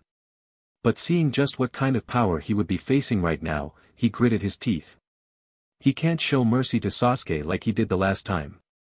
Sasuke on the other hand didn't show any outward reaction but he sure was annoyed internally. But before he can say anything, he is interrupted by Obito. Uzumaki Naruto, your brother has caused me quite a lot of trouble, there was already killing intent in his voice, after all, he lost all of his Sharingan thanks to Kirito, not to mention many of his plans also failed because of Kirito. Yeah, he has a habit of causing trouble for troublesome shinobi like you, Naruto smirked. I see, I wonder how he will feel fighting his own brother when after your death I resurrected you, Obito ruthlessly said. Ha, not a chance, Naruto replied. Actually there is quite a bit of chance, B looked at the six Jinchuriki in two Uchiha with trepidation. One had Rinnegan while the other had Eternal Mangekyo, and lastly that sexy blue-haired woman, B didn't know but he sensed power from her so he was alert. Even you can't be this big of an idiot, look clearly Naruto, you two got no chance. You are outnumbered and outmatched here. Kirito is not coming to save you today, you are all alone, Sasuke said as his Sharingan flared to life. You are listening to this audiobook on webnovel audiobooks Tgthegood. Indeed facing Obito with Rinnegan, Sasuke with Eternal Mangekyo Sharingan and then six of the Paths of Pain with the power of their Biju on top of that is nothing less than a death sentence. Even someone like Kirito would have trouble handling all of them. There were beats of sweat rolling on Naruto's face while B was the same. But before any of them move a voice echoed in the silent forest. Who said he is alone? All of them were surprised at this and looked at where the voice came and almost all of their eyes widened to extreme proportions. There were seven people standing there on top of different trees. Of them were wearing a black cloak with red clouds printed on them and the other two were wearing Konoha headband. This person were none other than Deidara, Kakuzu, Hidan, Sasori and Kisame under the control of Kurshio he was sent here to protect Naruto and help him. He always wanted to bring Akatsuki to the good side, I mean just think about the menace they could have been if worked together for the good side. It was nothing less than any Naruto fan's wet dream but there was more. Kirito also sent two juggernauts with them, one had with same red eyes and almost as same face as Sasuke. It was Fugaku Uchiha, Sasuke's father. Kirito got his body way back when Itachi exterminated his own clan standing there like a boss and making Sasuke's heart pound inside while the other was. Kirito Naruto shouted.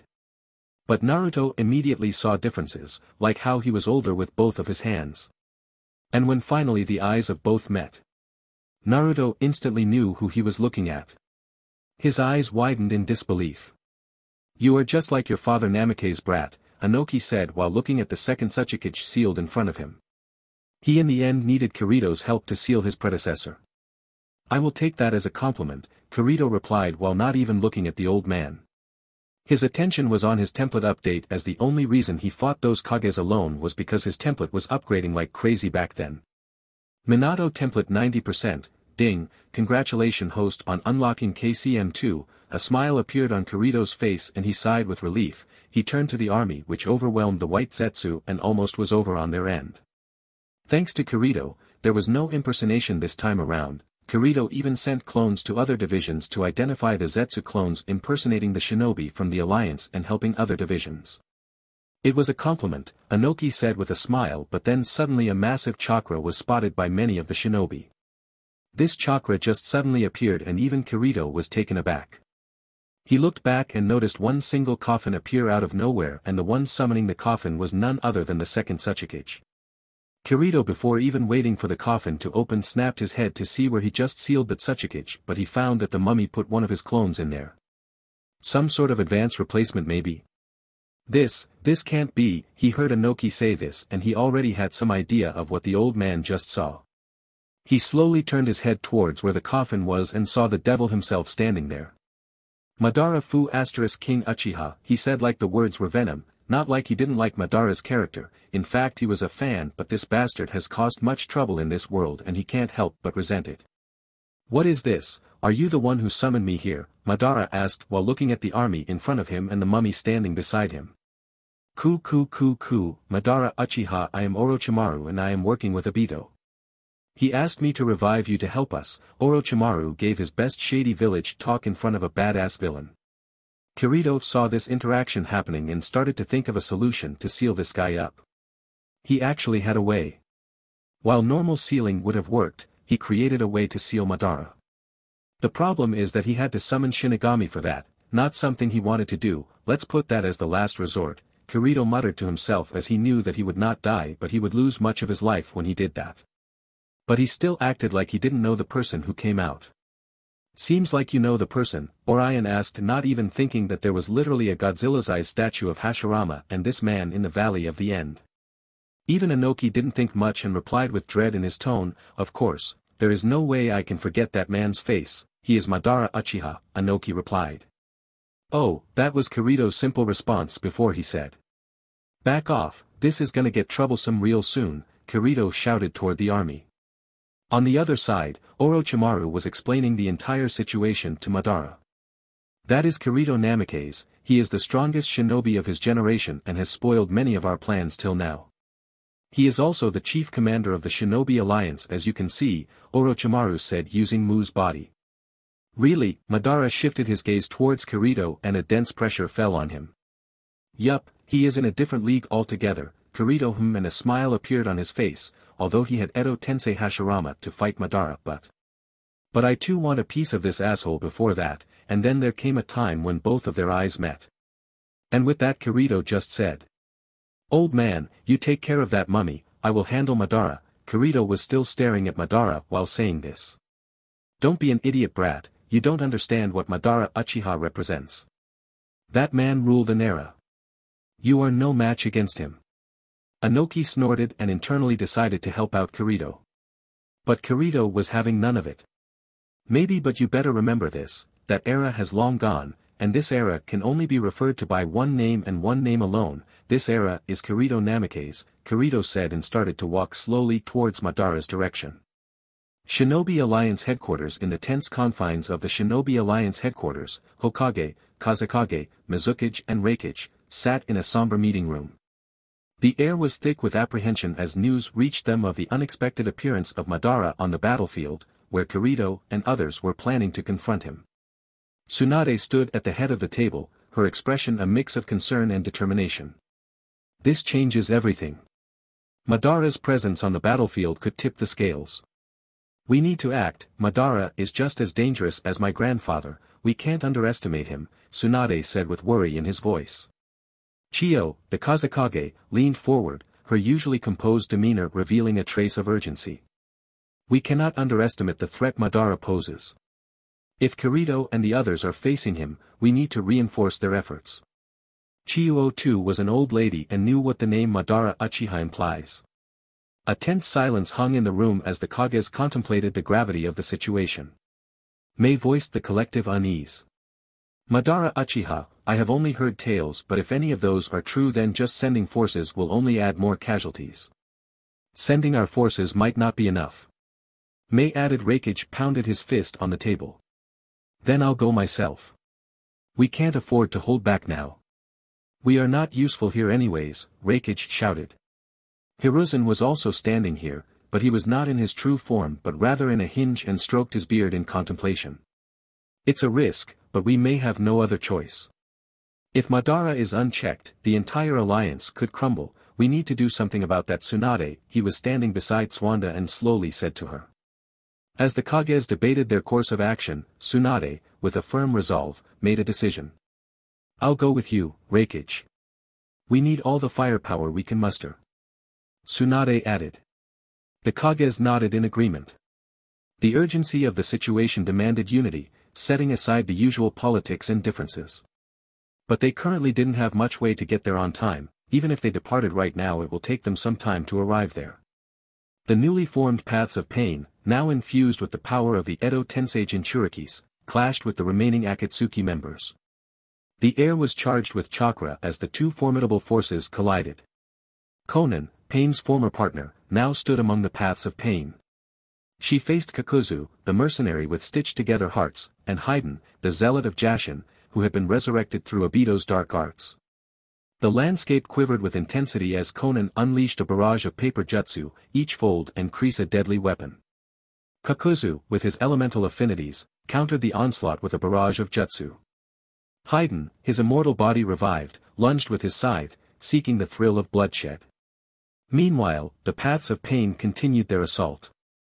The earth trembled beneath their feet as they Sasori, the master puppeteer. Kisame, created torrents of water, clashing with the ferocity of the path's attacks.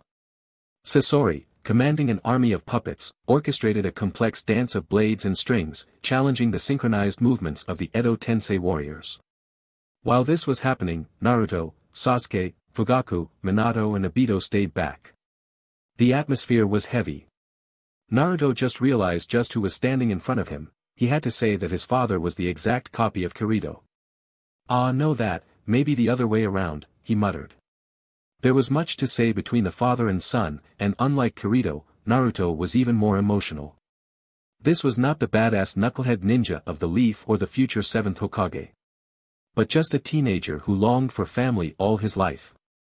As the battle unfolded, Kakuzu, Hidan, Kisame, and Sasori proved to be formidable adversaries, utilizing their unique abilities and battle experience. The paths of pain, however, moved with relentless efficiency, undeterred by the resilience of their opponents. But still, this situation was much better than what Naruto and B had to handle in the anime. Naruto wanted to ask many questions, after seeing his father for the first time, remember that this time Naruto met with Kushina, which I did cover, when he was training in KCM but didn't meet Minato as Kirito fought Pain in the end. I know you have many things to ask and say son but this is not the time, Minato's heart broke after seeing Naruto's pain-filled eyes. Kirito was different, he never saw this pain in Kirito's eyes. At best, he saw longing for family just like Naruto but not much pain. Naruto on the other hand, his eyes were filled with pain. Minato wanted to say so much, wanted to explain why both he and Kushina couldn't be with him and Kirito. But right now enemies were standing right in front of them. It was indeed not the time. But this was not the only pair of father and son who was standing there. There was one more. Sasuke heart was pounding inside him after seeing his father in front of him. He, being with Akatsuki still now, was naturally aware of Edo Tensei. So his blood started to boil when he saw his father was used like a puppet. Father, Sasuke finally broke out of his shell and said. Sasuke, what are you doing, Fugaku asked. Fugaku had only basic knowledge of what happened which he got while traveling with Minato and coming here. This meeting was even more painful for Fugaku to see his younger son joining Akatsuki. Obito who was watching this all gritted his teeth. Fugaku was trying to convince Sasuke to stop this madness and even telling them what really happened all those years ago. Minato looked at Obito with complicated feelings. Of course, Kirito told him about Obito and what exactly was going on. Obito, why are you doing this, Minato said and this shocked Obito. No one except Orochimaru and Madara knows that he is Obito Uchiha. How did Minato find out? This mind was working several miles a second. Kirito on the battlefield slowly walks towards Madara. Temari seeing Kirito walking towards Madara alone started to panic, she wanted to help but knew that she was no match in the upcoming battle. Even the entire army might not be enough for Madara. Kirito actually talked about this before their march, that most likely they will face someone like Madara. At that time he never gave any reason but now Temari started to connect the dots. Kirito explicitly said not to interfere in a fight of that level. Let him handle it. Madara on the other hand watching Kirito coming towards him, smirks.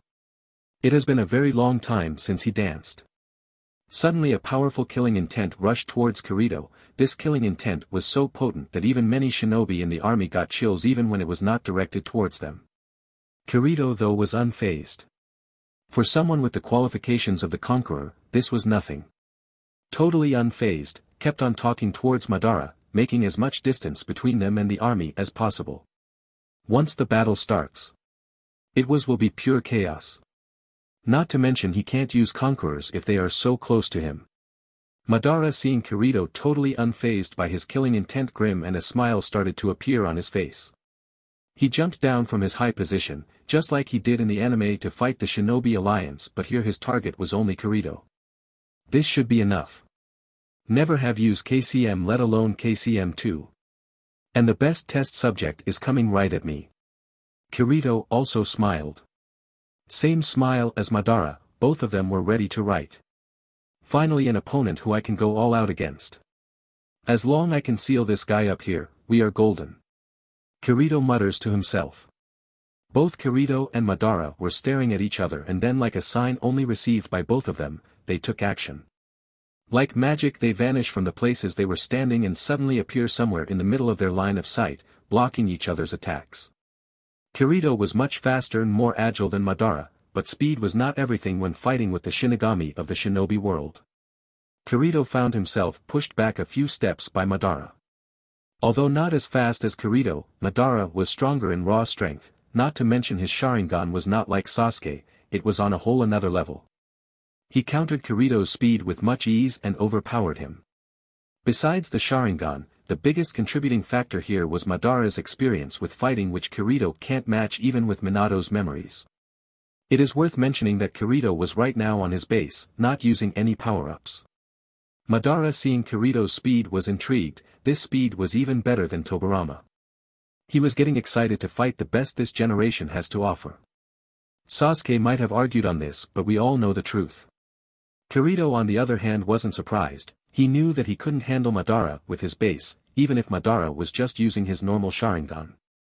But he went with his base to just get a feeling of where he is compared to Madara he saw in his eyes that there were only three Tomoe Sharingan right now. And no Kirito was not worried about Genjutsu, he had long found a way to handle any Genjutsu thrown in his direction, thanks to his Uzumaki sealing knowledge, he created a special seal to handle it. Not like he was even considering that someone like Madara would resort to genjutsu in the first place. Ha, Kirito made a fist and again launched himself towards Madara. Only having one hand means that he can't pull off some tricky moves which he used to in his early days. His black cloak fluttered as the collision of his fist and Madara resonated with the surrounding.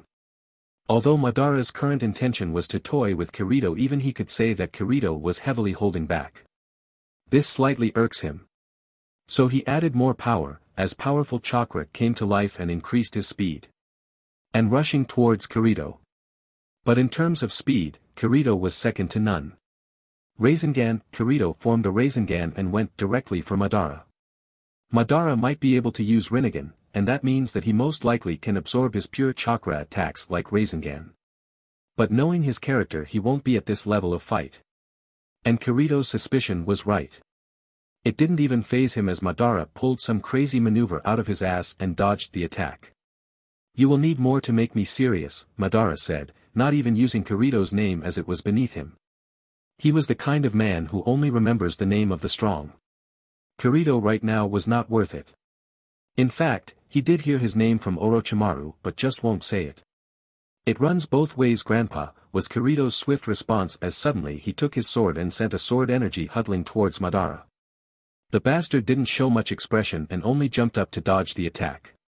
But internally he too was getting interested, sword attack like that wasn't common when he was alive. Interesting, Madara said in an almost mocking tone. Kirito didn't pay much attention to Madara's words and put pressure on his legs. Instantly zooming and increasing his speed and invading Madara's personal space. Uzumaki style, water divider, Kirito shouted and sent a powerful sword strike at almost point-blank range. This attack got a hit right, well it did but before that, a blue layer of dense chakra appeared between both Kirito and Madara, shielding him from the sword strike. The attack was slammed into the impregnatable shield of Susanoo. Even Madara's incomplete Susanoo which only had outer covering was strong enough to block Kirito's sword strike. Don't tell me this is the only thing you can do, Madara taunted. Didn't wait and launch another attack in succession. Here take this, Kirito said and put a black and red seal on top of Susanoo's outer bones and vanished before Madara's eyes. This stunned Madara for a second. He was still now comparing Kirito with Tobirama considering that both fighting styles and even to some extent the personalities were similar but he was honestly not expecting Kirito to even use Tobirama's jutsu. Madara didn't do anything, he was not even slightly worried about the seal Kirito placed on the Susanoo. Susanoo is his strongest technique besides his Rinnegan eyes and he completely believed in Susanoo's defensive capabilities. Boom Kirito who appeared near where the army was, saw the explosion happening and repeated a very famous line in Naruto. Art is an explosion, Kirito smirked, what he placed on Madara's Susanoo was no ordinary explosion tag, no sir it was a Kirito Namikaze's special mini-atomic tag. Inspired by the Uzumaki special seal, perfected under the frustration of having nothing to blast Biju with and powered by none other than Biju's powerful chakra. This tag is something special. While Kirito was admiring his art, the shinobi in the army almost experienced an eardrums rupturing sound. The heat of the blast was felt by them even after being thousands of meters away from it. And from there, several kilometers away, a certain member of Akatsuki with blonde hairs while fighting one of the new parts of pain, suddenly jerked up, like his soul calling for him. He looked towards the land of wind and muttered, something, something tells me that something really beautiful just took place, said Deidara but Sasori lectured him to concentrate on the fight. Kirito waited until the blast died down and then again teleported back, trying to find where Madara was. Thanks to his observation haki, he was able to sense Madara. Half of the bastard's body was gone and slowly generating. Oh, you're looking serious there, Kirito said with a smile. Kirito had a smug look on his face after seeing the regenerating Madara. He was obviously very proud of his atomic seals. But he didn't waste any more time acting like a typical anime villain and took out his sealing kit to seal Madara up. With just a couple of one-handed moves, he activated the sealing technique as a big scroll unfolded and the paper started to wrap around Madara's still regenerative body. Not too shabby if I say so myself. Now if only this seal holds up, Kirito said to himself and waited. The main concern was about what Madara did in the anime, even after sealing him the bastard broke through the seal. This was obviously an issue for Kirito. Thus he didn't let his guard down and waited until the Pokemon was really trapped inside the Pokeball before shouting, I caught Madara, unfortunately for Kirito and fortunately for our dear readers, the MC will never get the chance to shout that as the seal which was holding one of the biggest terrorists in anime history started to break and Madara eventually came out. Well, I was expecting this to happen.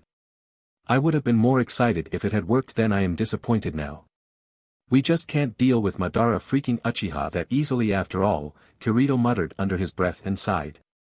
Now the only way he has to seal Madara is to directly summon the Shinigami and let him do the job. But to even do that, he once again has to destroy Madara's body which by the looks on Madara's face, will not be easy. I commence you for your effort.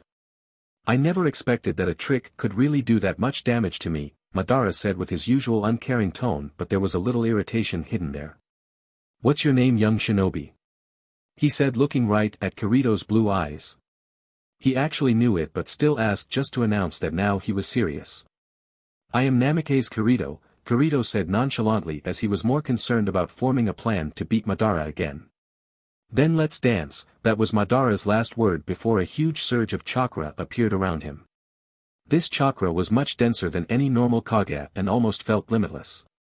Considering that Edo Tensei does have limitless chakra, it's not wrong to say that it's infinite. Kirito saw Madara forming hand signs and it looked very familiar to him, a bad feeling started to engulf him. Deep forest emergence, Madara said and then it happened. Like the world was shaking upon encountering a 9-magnitude earthquake. Then trees started to emerge from the desert land, powerful and big roots started to erupt out of the ground and move towards Kirito. This wood style was on a whole another level, still nothing close to Hashirama but it was stronger than Obito, Danzo or Sasuke combined. Oh I guess he is finally serious, Kirito quickly looked behind him and approximately a distance of 2 kilometers was standing the 4th division. Still waiting for Kirito's order finding that they are far enough that the emerging forest won't reach them. Kirito rather than blocking the attack, dodge it. Teleporting away from the direct line of attack, he from on Madara's rear. Taking advantage of he again took out his sword and went off another attack. But this time Madara was not playing around, instantly massive chakra came to life and an eternal Susanoo formed around Madara's body. It was still not a complete Susanoo and only the upper half but it was impenetrable armor that was guarding Madara like a fortress. Man, Sharingan is such a cheat, what the hell Kishimoto was smoking when making these eyes, Kirito complained putting back his sword. Orange markings suddenly appear around his eyes, stating that he entered into Sage mode. He was not planning to do this early but at his base, he is not a match for Madara. Wind style, Rasen Shuriken, Kirito in an instant created a powerful Rasengan shuriken and threw it towards Susanoo.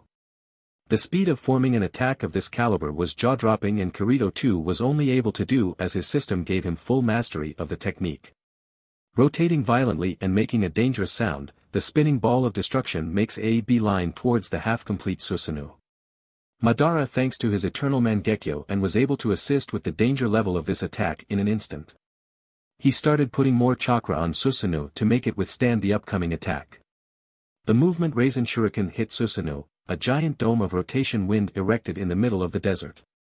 It was big enough for even the Shinobi Alliance to see and admire. First that blast and now this. Just how many dangerous jutsu that kid is hiding, someone said and others nodded. But Kirito was different, thanks to his observation haki in being in sage mode, he was able to sense that although his attack did damage it was never able to touch Madara's main body. Susanoo got broken in half but still protected Madara. Interesting, you are the second person who has ever pushed me this much, Madara said and he wasn't lying. Besides Hashirama, there was no one who can even fight him even at this level. But it is just that, this level. This level was nothing to what he was used to when fighting with Hashirama. Soon the broken Susanoo started to regenerate and even gotten bigger.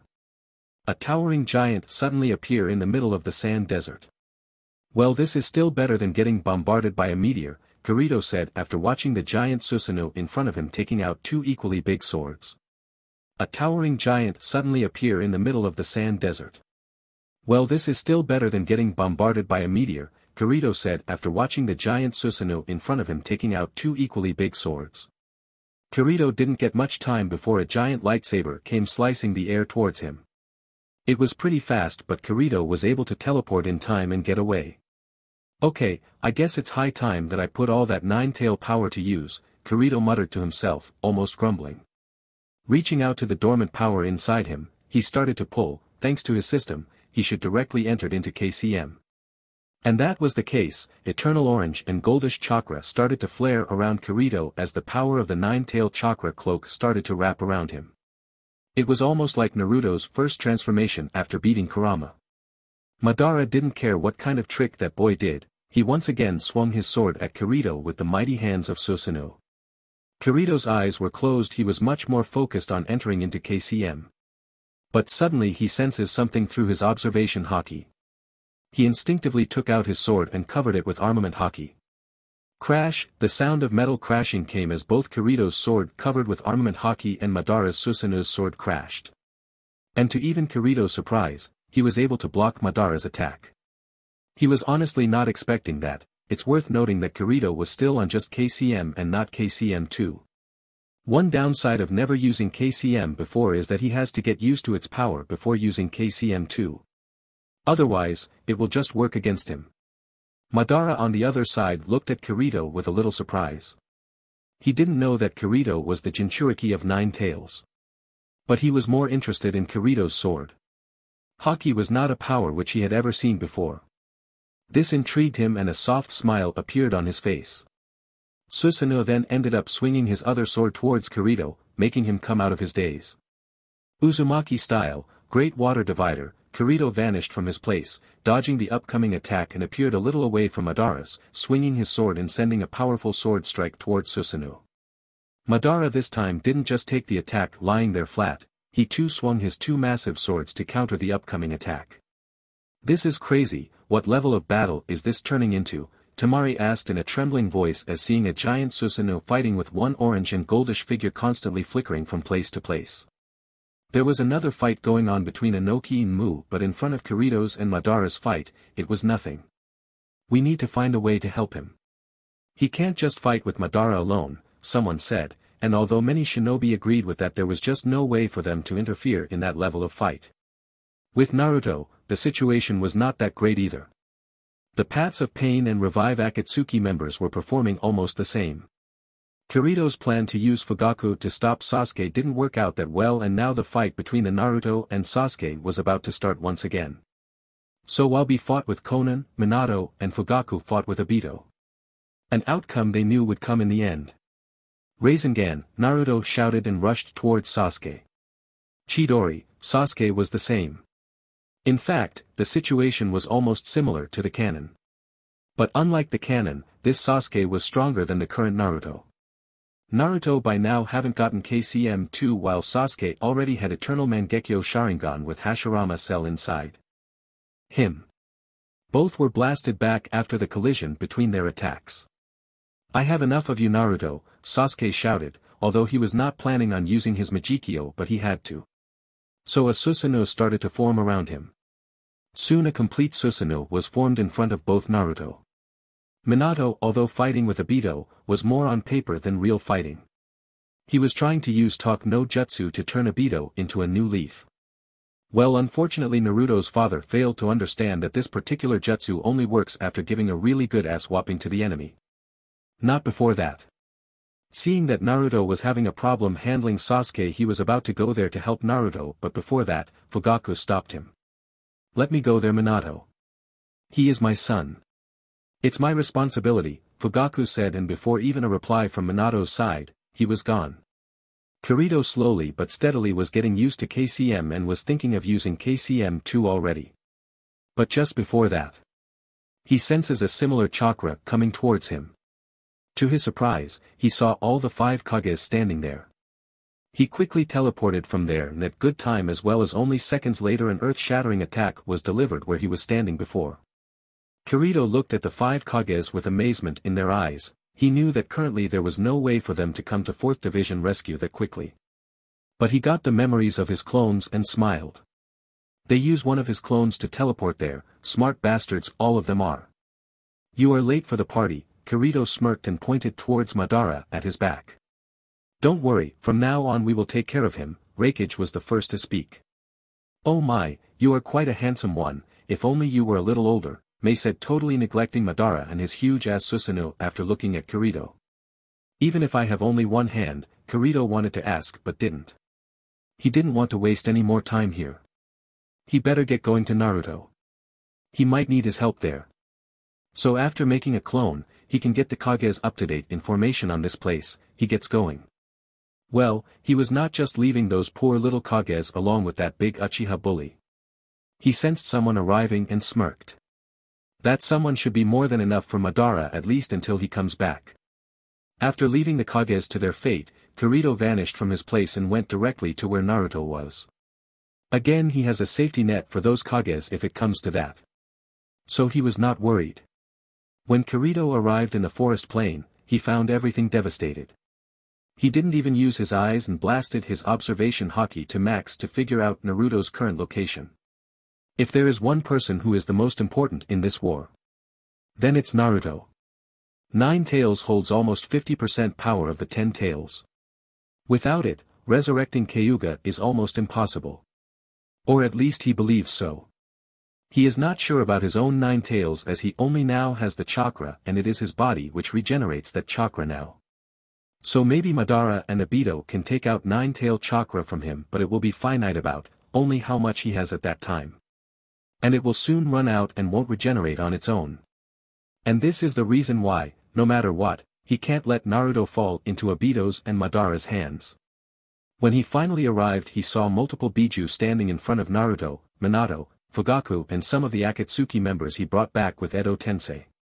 Hmm seems like shit is getting real, huh, Kirito joked as soon as he arrived. But at the same time, he also noticed that among those Biju there was one more titanic entity. A purple Susanoo. It was Sasuke. Kirito, Naruto almost shouted as he saw his brother, finally things were looking good. Still, they were having much difficulty handling just the Edo Tensei past Jinchuriki but now they turned into full-fledged Biju. There is also Sasuke Bloody Uchiha among them. Not to mention, behind all those Biju was standing Obito on Gedo statue.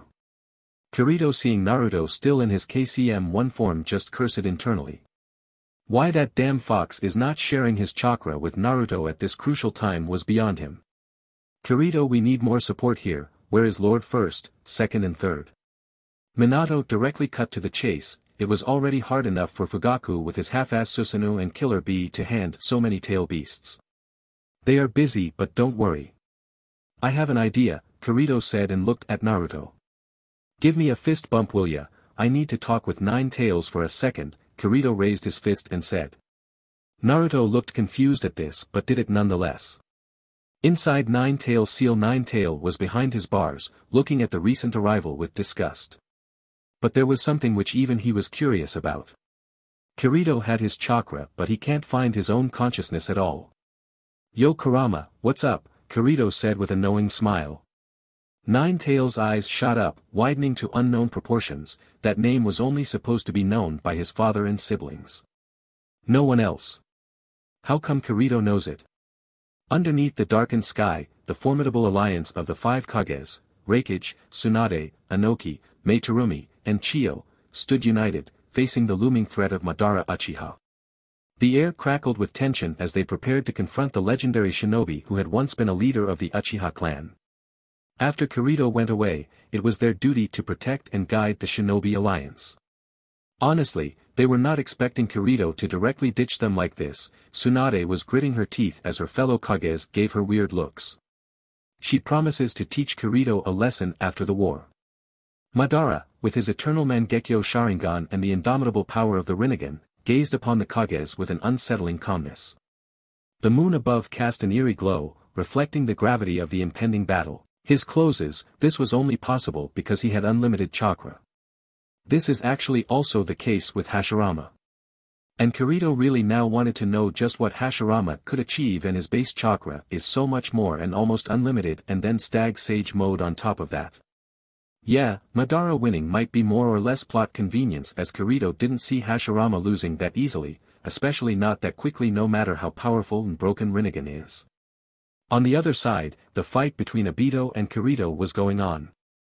Kirito first tried to attack the Gedo statue but it didn't work, the defense of the Gedo statue was insane. He tried but he couldn't damage the damned statue at all. Kirito used all of his power to damage the Gedo statue but didn't work. And ultimately he had to stop, considering Obito was starting to absorb the Biju back. Shit, what the hell is this ugly-ass statue made of, Kirito cursed under his breath and rushed towards the Naruto. Naruto was right now trying to stop Biju back from the Gedo statue's mouth. He tried to help out both Killer Bee and Naruto to stop the Biju from getting absorbing inside the Gedo statue. But that was to no avail. The resistance that both Kirito and Naruto face was so powerful that even with the combined force, they couldn't stop the Biju was getting absorbed by the Gedo statue. Hell man, what the fuck is this? In the anime this was not that hard, Kirito muttered to himself. And the biggest problem here was that Obito was also targeting Naruto here. Actually, this only happened because Obito absorbed one tail, two tail, third tail and five tail immediately after Naruto freed four tails. So the resistance that Obito was facing here was not as much as in the anime. How come this one I lover didn't go as the canon? Kirito cursed, if only Obito hadn't acted in time, Kirito wouldn't be facing this issue at all. After trying he knew that there was no stopping Obito right now, the resistance here was too much for just Kirito and Naruto to stop. Besides the Biju that Obito took in, there was another Biju but they were still under Obito's control. The only Biju which was not under Obito's control was Nine Tails, Four Tails and Eight Tails. All this Biju and Jinchuriki tried to stop Obito but their power was not enough, unlike the anime, Obito was dealing with much less Biju here and thus capturing them was easier and possible. Shit, Kirito muttered to himself. Saw that the Gedo statue had also captured Naruto in his place. Think think think, Kirito panicked. Unlike him, Naruto would die if Kurama was rib out of him. With swift precision, Kirito replaced himself in Naruto's stead, shielding him from the malevolent grasp of the Gedo statue. The sinister force, hungry for chakra and life, engulfed Kirito, who stood resolute in the face of impending danger. The worst case for him is not being able to use Nine Tails powers while for Naruto it's death and this time around there is no other Kurama to fall back to. But Naruto didn't know that, he didn't know that Kirito most likely wouldn't die if Tail Beast chakra was ripped out of his system as he could just generate that chakra later on in time. Naruto, wide-eyed and filled with dread witnessed Kirito's sacrifice. The Gedo statue, now focused on its unexpected prey, attempted to draw Kirito's chakra into its abyss. Yet, Kirito, with unwavering determination, resisted the pull, his will standing firm against the malevolent force. Kirito tried but he knew that he couldn't stop the Obito at this. Hashirama shows a giant meteor coming towards him.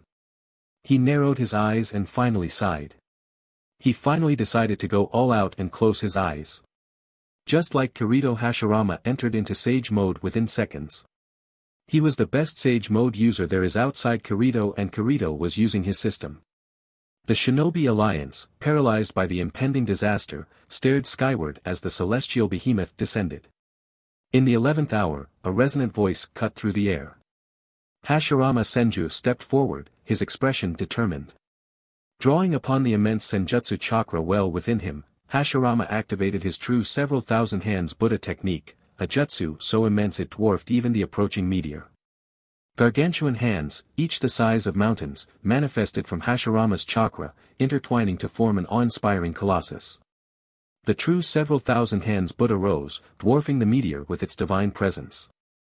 Hashirama, atop the colossal statue, channeled his power to halt the celestial threat. The impact was cataclysmic. The meteor collided with the Buddha, causing shockwaves that echoed across the battlefield. Dust and debris erupted into the air as the opposing forces shielded their eyes from the blinding display of power. When the dust settled, the colossal Buddha stood triumphant, its hands still raised in defiance. Hashirama, visibly drained but resolute, surveyed the aftermath. The meteor, reduced to fragments, scattered harmlessly across the battlefield. The Shinobi Alliance, witnessing Hashirama's divine intervention, erupted into cheers. Madara was not surprised, no one knew the true power of Hashirama Senju better than him.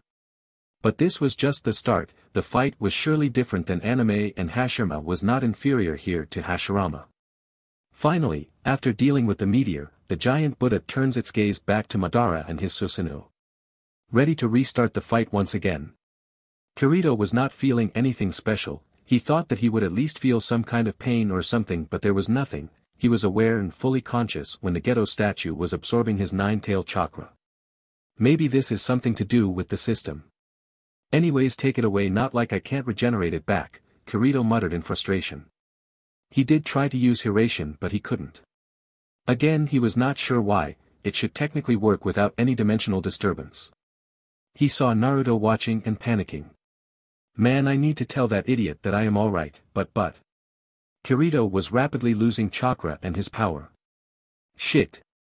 Naruto was worried, he was trying to use all his power to pull out his brother but to no avail, he couldn't do anything. And saw all the Biju getting absorbed by the Gedo statue. One after one, all the Biju got absorbed by the ugly statue. Unfortunately, he didn't see Kirito getting out of his Kurama state just before his nine-tail chakra was absorbed. Hashirama stood resolute, the remnants of his true several thousand hands Buddha dissipating into the atmosphere. The battle unfolded with a series of blindingly fast exchanges. Hashirama, his wood-style jutsu creating a labyrinth of branches, sought to ensnare Madara. The Uchiha, with the fluid grace of the Uchiha Taijutsu, danced through the wooden tendrils, dodging with preternatural speed. Madara had many tricks on his sleeves but more or less Hashirama's superior healing and sage mode pretty much negated all of those. Their clashes echoed with a familiarity that only those who had shaped the course of history could comprehend. The battlefield transformed into an arena of nature versus power, as the first Hokage's wood style countered the Uchiha's Sharingan-infused techniques. The Susanoo, a manifestation of Madara's indomitable will, materialized. Its ethereal presence clashed against Hashirama's towering wooden constructs. You should give Kirito-kun a raise Tsunade-sama. We are practically alive here only because he brought your grandfather back to life, Terumi Mei said with mouth open wide, the fight happening in front of her and other shinobi and kages was almost unreal. Tsunade just nodded not even listening to what her fellow kage was saying, her sole attention was on the fight between the legendary ninjas. Hashirama, drawing upon the Senju's unparalleled life force, summoned roots from the ground, attempting to bind Madara. The Uchiha, however, responded with his mastery over the Susanoo, deflecting the roots with precise strikes. Their confrontation reached a new level, his eyes gleaming with a newfound intensity. Nature itself responded to his presence, amplifying the potency of his techniques.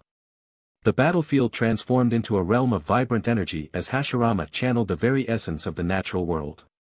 Madara, undeterred, activated his Rinnegan. The battlefield became a canvas of power as Hashirama's sage-enhanced techniques clashed against Uchiha's otherworldly abilities. While this was happening, Kirito found himself in his lair. His secret training area, he teleported himself out as soon as all of his Kurama chakras ran out and his connection with Gedo statue disconnected. But now he was completely out of chakra. Man, this is so wrong time for this to happen, Kirito complained. Kirito-kun, but at this time he heard a voice. He tried to move his body as his body was even almost paralyzed without much energy in his body. He saw a beautiful girl with red hair. Karen, Kirito said a smile coming to his face. I need your help please, he immediately said. Good thing he came to this place. Naruto saw his brother getting devoured by the Gedo statue, well at least he believes that that happened. And now Obito was ready to become the Jinchuriki of the Ten Tails. He didn't yet absorb Naruto or Killer Bee but he got the Eight Tails chakra before when Itachi went to capture Killer Bee and now he got the Nine Tails chakra. With this, he had enough power to transform himself into the Jinchuriki of Nine Tails. As the battlefield trembled with the unleashed power of the Ten Tails, Obito stepped forward with a resolute gaze. The dark energy emanating from the Gedo statue enveloped him, and his form underwent a chilling transformation. The tailed beast's chakra, now fused into a malevolent force, surged towards Obito.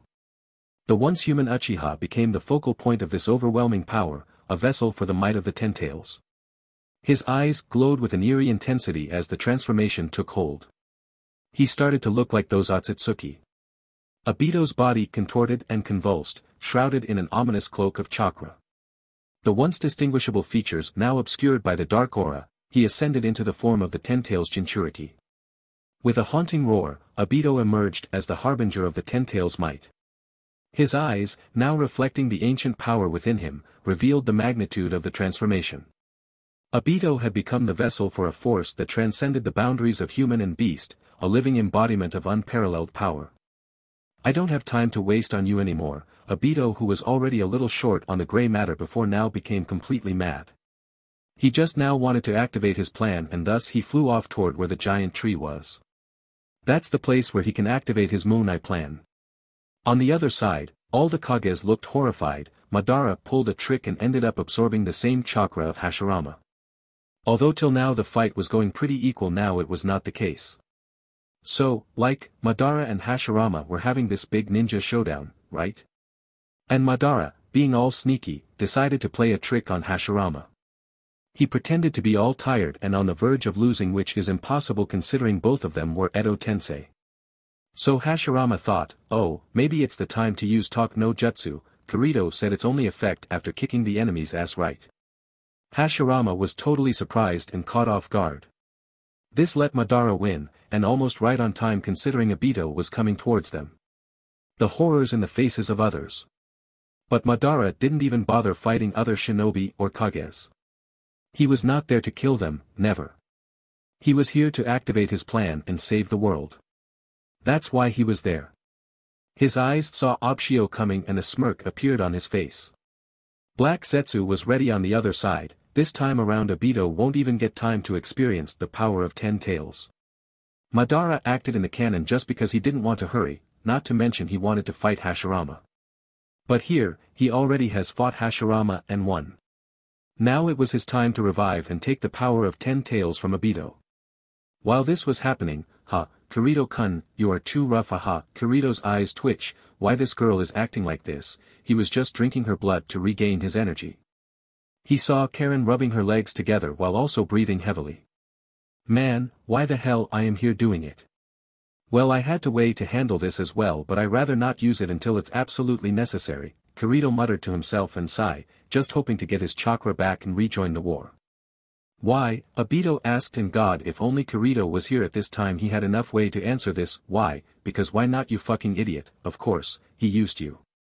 Currently, Obito is held captive by Black Zetsu uses Obito's Rinnegan to revive Madara. And now he was taking his Rinnegan back. While this act of betrayal was happening, the entire shinobi force plus the Kages were enjoying the show. Yeah serve him right, Motherfu asterisk Kerr was a pain in the ass, ah, although I might die in a few minutes now I can do that in peace, man, all this sand is getting in the way. Someone, please use wind jutsu to move it, sand, huh? Is this Alabasta? Man, how come I still can't find the sea? Those bastards, how come they all got lost this much? Naruto and the others haven't arrived still yet. The forest was much farther away from the desert area. Obito only came faster because he could fly. We need to fight, we can't give up here, said Raikage. But even his voice was trembling a little. The power which Madara showed today was beyond his comprehension. And someone like Hashirama too couldn't stop him. He had no idea how he gonna stop Madara now. While this was happening, suddenly a spatial distortion took place and appeared two white-hair individuals and one black-hair man. To the Konoha people, these faces were much recognizable. Lord Second, Jiraiya-sama, who is that man with Uchiha logo in his shirt? Oh you idiot, see closely, he is Uchiha Shisui. And while this happens, another spatial fluctuation took place. And came two blonde-haired men with one black-hair man. This was none other than Minato with Naruto and Sasuke. Naruto, Tsunade was surprised to see Naruto all alright but was glad. Lord Fourth, Yup Minato's popularity was all-time high at this time. After all, he alone was the honor cough asterisk cough. But the inclusion of Sasuke makes this situation much more strange. Sasuke, Sakura looked and said with much complication in her voice. Throughout the shinobi world, at this time, all the Edo Tensei that Orochimaru revived were felling and the shinobi alliance was crushing the leftover white Zetsu. They were ordered to join the main battle in the sand desert after they were done. This is all thanks to Tobirama and Shisui. Jiraiya was also there with Itachi for the same reason but they were beaten by the second Hokage and Shisui. So after Itachi was gone, Jiraiya with the help of Tobirama came to the battlefield. The same was the case with Minato as when he felt Obito's chakra skyrocketing thanks to his sage mode, he went back and only halfway he found his son making his way to the desert area. Following after Obito. He did ask why when Kirito was with them but no answer came. Minato was just stunned only for a second before his genius mind kicked in, he knew how potent Hiraishin could be and until now he knew his son's mastery of this technique was no worse than his. Although he couldn't sense Kirito he believed that Kirito would be alright. And thus he brings Naruto and Sasuke here. Sasuke came back to consciousness but was injured pretty badly. Fugaku did put some sense inside him. Don't worry Bachan, Sasuke will help us, right Sasuke, Naruto asked, the fact of his brother set aside for now.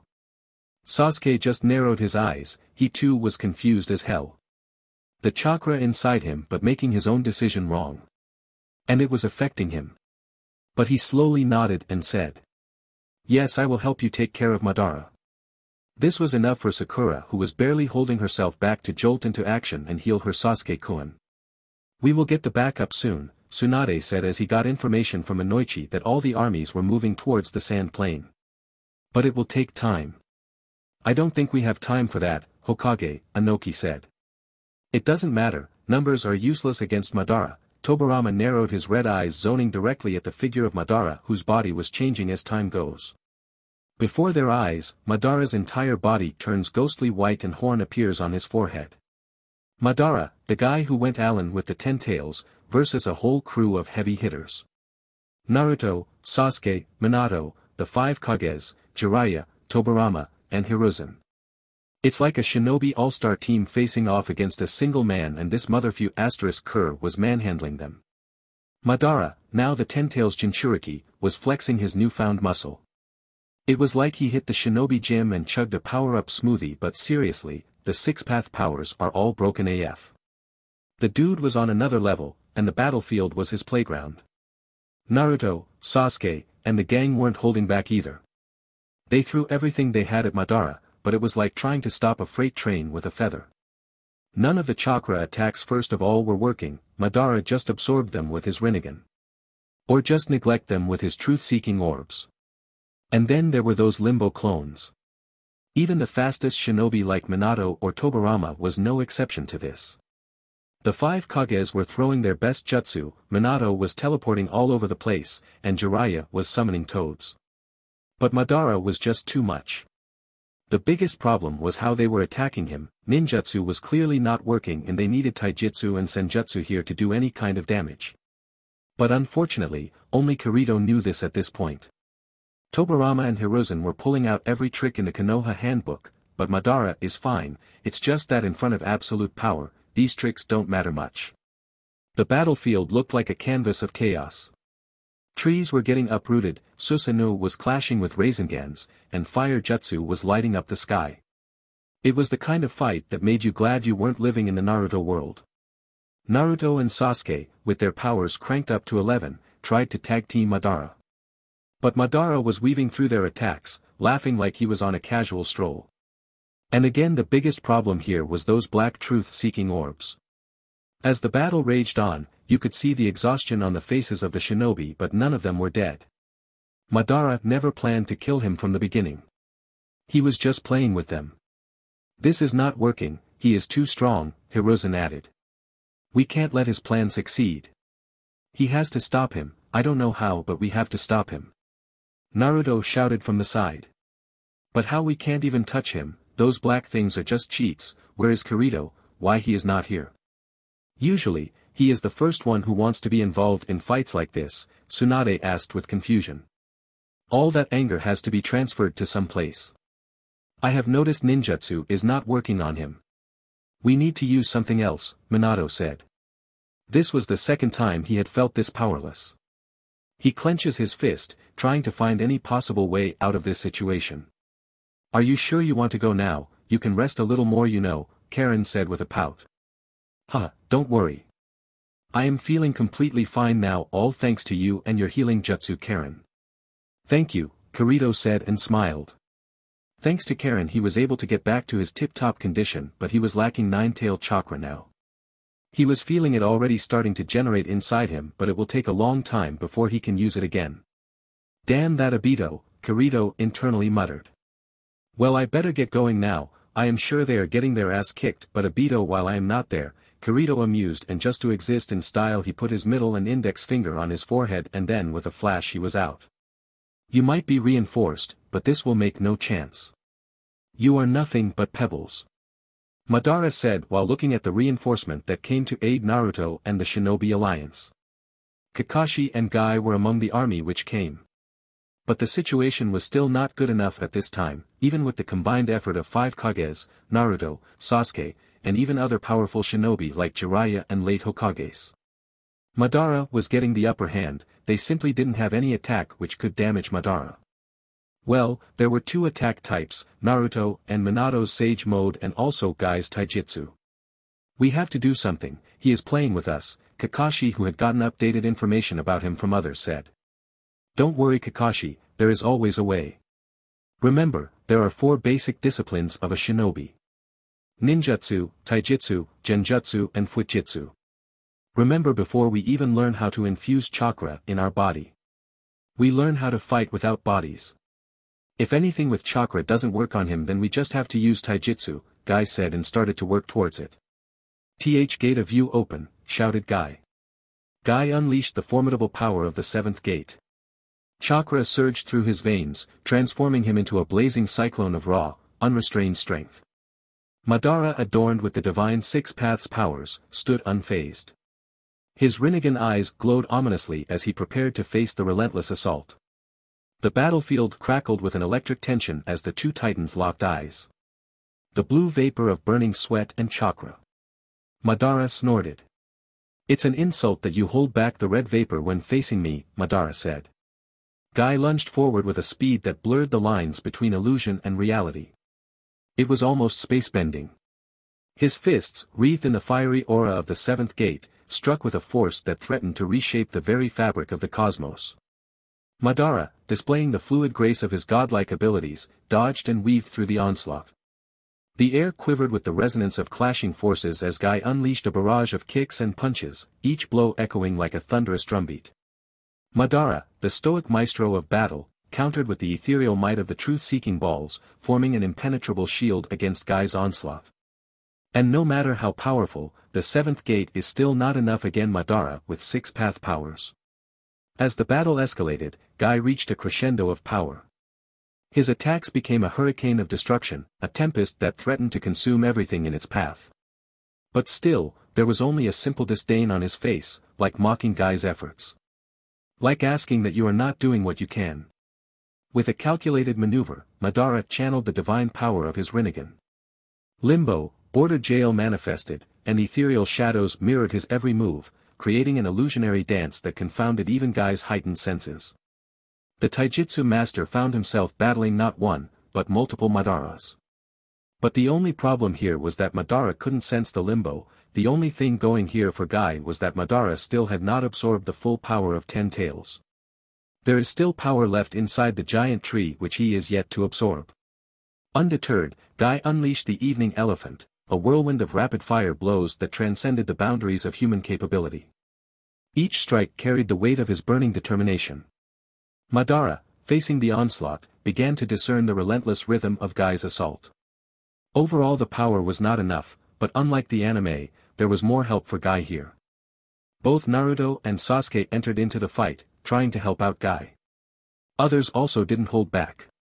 But the problem is just that, there is still no way for others beside Guy to attack Madara. This time around, Naruto never had an aha movement which suddenly made him realize that Sage Mode would work.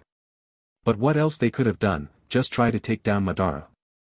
Oh I assure you that this is no end, but the blue beast is no more, it's time for the red beast to emerge, Guy said and started to walk forward. The fight went on pretty devastating still now them and now the only thing Guy could think of was the open the eighth gate. It will surely take his life, but he knows one thing. His father told him that it was not about being strong or completing the mission. It's about protecting the important people he cherishes. This technique was given to him by his father so that he could do that, that is why he fought so hard all this time. He walked and then started to pass the other Kages, Kakashi. Inner gate formation, Guy shouted start ran up, he was just about to open his eighth gate but just before that something appeared in front of him. Like out of nowhere someone appears there. Bam, Kirito, what are you doing, Guy shouted. Yup, it was Kirito who appeared beside Naruto but Guy just happened to be passing by at that time. Me? What are you doing Guy-sensei, why so hurry, Kirito snapped back. Oh nothing nothing, just burning my youth, Guy said while laughing and looking at Madara again. Oh that sounds interesting but would you mind I give it a go before you kick the finale, Kirito asked while looking at Madara. What the fuck, where is Obito? Don't tell me I lose the chance to kick his ass, Kirito's eye twitched. He honestly was not expecting things to go up to this point, he actually initially planned to end this matter just with Obito if possible. But I guess hell will freeze over before things go my way, Kirito muttered and complained to the universe. You are the boy who fought with me before didn't you, Madara looked at the one-handed blonde shinobi who used a sword. Ah yeah. Now it is time to continue our fight, you see I don't have the habit of leaving a fight incomplete, Kirito said and took out his sword. Oh, so you wish to dance again, come then. I too wish to see that strange power of yours again, Madara said with interest on his face. That strange power is Haki, Kirito said as he started to walk towards Madara. Naruto, get everyone out of there, I need space to let loose, Kirito said while walking towards Madara. Kirito this is not the time to work alone, Tsunade was about to say much more but one look from Kirito and she understood. Because Kirito's eyes were slightly glowing red. Her eyes widened and remembered the power Kirito was about to release. Get out of here, we need to give him space, otherwise we will be caught in the attack, Tsunade said. Are you sure Hokage, asked the other Kages they had seen firsthand just how terrifying Madara is. In under a minute, everyone is strong enough to leave the place. So, are you ready to dance again, dance huh, Kirito mused as he entered into sage mode. His eyes were surrounded by orange pigmentation. And with sage mode came a heightened sense of senses. He senses that others have already been out of his attack range and is ready. It's been a while since I really let loose, not to mention never even use my haki at its max either. Let's see, Kirito said as closing his eyes. Madara was sensing something but this power was unknown to him. Kirito took his time, he thought to have control over his haki but not as much when he was in Sage mode. His haki right now is much stronger, and focusing it on Madara is hard. Come on now, you don't expect me to wait here for night, Madara said. But then suddenly a chill went through his spine. Kirito's eyes blazed as the formidable power of Conqueror's Haki came forth. The air crackled with an indomitable force, and a surge of invisible energy radiated from Kirito. Kirito's red eyes clash right at Madara's as the world starts to lose color and even the heaven and earth start to shake under the presence of a conqueror. Madara, accustomed to facing all manners of jutsu and techniques, felt an unexpected chill running down his spine. The conqueror's haki, a force that transcended the physical realm, held a strength that resonated with the very essence of a warrior's spirit. As Kirito unleashed the conqueror's haki, the environment itself seemed to bow to his overwhelming presence. The air pulsated with an invisible pressure, causing even the mightiest of trees to quiver. The ground trembled as if paying homage to the conqueror's will. Madara, a veteran of countless battles, found himself momentarily taken aback. The conqueror's haki wasn't just a display of power, it was a manifestation of Kirito's sheer dominance. The very fabric of the battlefield bent to Kirito's indomitable spirit, and even the most seasoned warriors couldn't help but feel the weight of his commanding presence. In that moment, Kirito's haki echoed like a war cry, challenging the very core of Madara's strength. Once a drunken dragon told a monkey, that in the heart of the sea, only haki reigned supreme, Kirito said with a smirk. Madara could feel it, this was the feeling he was waiting for. This made his blood pump again inside him, this was the first time he had experienced Conqueror's haki. Kirito slowly took out his sword, and slowly the shiny sword started to be covered with black haki. So, you want to dance is that it, Kirito smirked looking at Madara and the sweat on his forehead after the haki he released. And with a simple leap, he rushes towards Madara. The bastard was flying so he also had to jump up to him. Uzumaki style, water divider, Kirito shouted and a powerful haki attack once again rushed towards Madara. Madara by now was already out of his daze and was ready to fight. In fact, he was showing a smile like never before. He was looking forward to this fight. He dodged the upcoming attack and moved his limbo clones towards Kirito. Kirito had observation haki though, he moved out of the way before even they were close and kept on rushing towards Madara. Madara's eyes widened seeing Kirito avoiding these limbo clones. Madara, with eyes ablaze, blurred into motion, launching. A barrage of chakra-infused projectiles at Kirito. Kirito, a blur of swordplay, deflected each attack with precision. As Kirito was not using chakra right now, his attacks were actually effective against Madara. As the speed increased to others' eyes, they were close to a blur. Madara summoned Susanoo. Kirito just had a smirk and directly rushed with his sword slicing through the chakra construct with sheer determination. Another interesting thing about haki was that it was not inferior to chakra. In fact, haki is better in raw power. Kirito simply teleported from his place and appeared a little further from the area. Then another haki shock was sent towards Madara and although it didn't stop him it did stunt him for a second. This was the exact time when kunai which Kirito threw up at just the right time came close to Madara instantly appearing in front of Madara. Kirito swung his sword with only one hand. Madara couldn't move in time and Kirito took the first blood. With just a simple slash he was able to cut open the entire chest. But that was not enough, Guy was able to practically eradicate Madara's entire body but even then Madara was able to regenerate himself. Kirito is strong but not that strong, but whilst Guy was much more stronger than him with his eighth game open, he couldn't endure it much longer. Kirito has endurance on his side. Not to mention, he has one other trick on his sleeves which he has yet to use. We need to help him, Naruto on the side shouted and others who too didn't know about haki kind of agreed with Naruto. No, his haki will make you unconscious before you know it, Tsunade said, after all this time she has learned how haki works. Especially Conqueror's haki. Madara matches Kirito's speed turns his Truth Seeker orb into a sword of his own and rushes at him. Kirito was ready, he too was holding a black sword, a sword made out of haki that is. Both the swords collided and another huge shock and sounds came from the clash. But Kirito's physical strength was not enough to handle Madara. Even with armament haki, when using a sword, having two hands is always much better. What happened, where is that power you showed just now, Madara asked with excitement. Kirito was already giving a good fight but he could still find no problem handling him.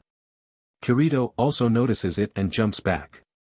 Well I am still not proficient in this one but what the hell, here goes nothing, Kirito smirked and the intensity of Conqueror's haki around him started to increase. Madara was about to rush at Kirito but seeing the intensity of Conqueror's haki started to increase he stayed back, wanting to see what's going on. This power was new to even him. What is going on, why is happening, why did Kirito stop, Sakura asked with confusion. I am not sure. Naruto knew Kirito best beside Ino. Ino was still not there so everyone could only ask him.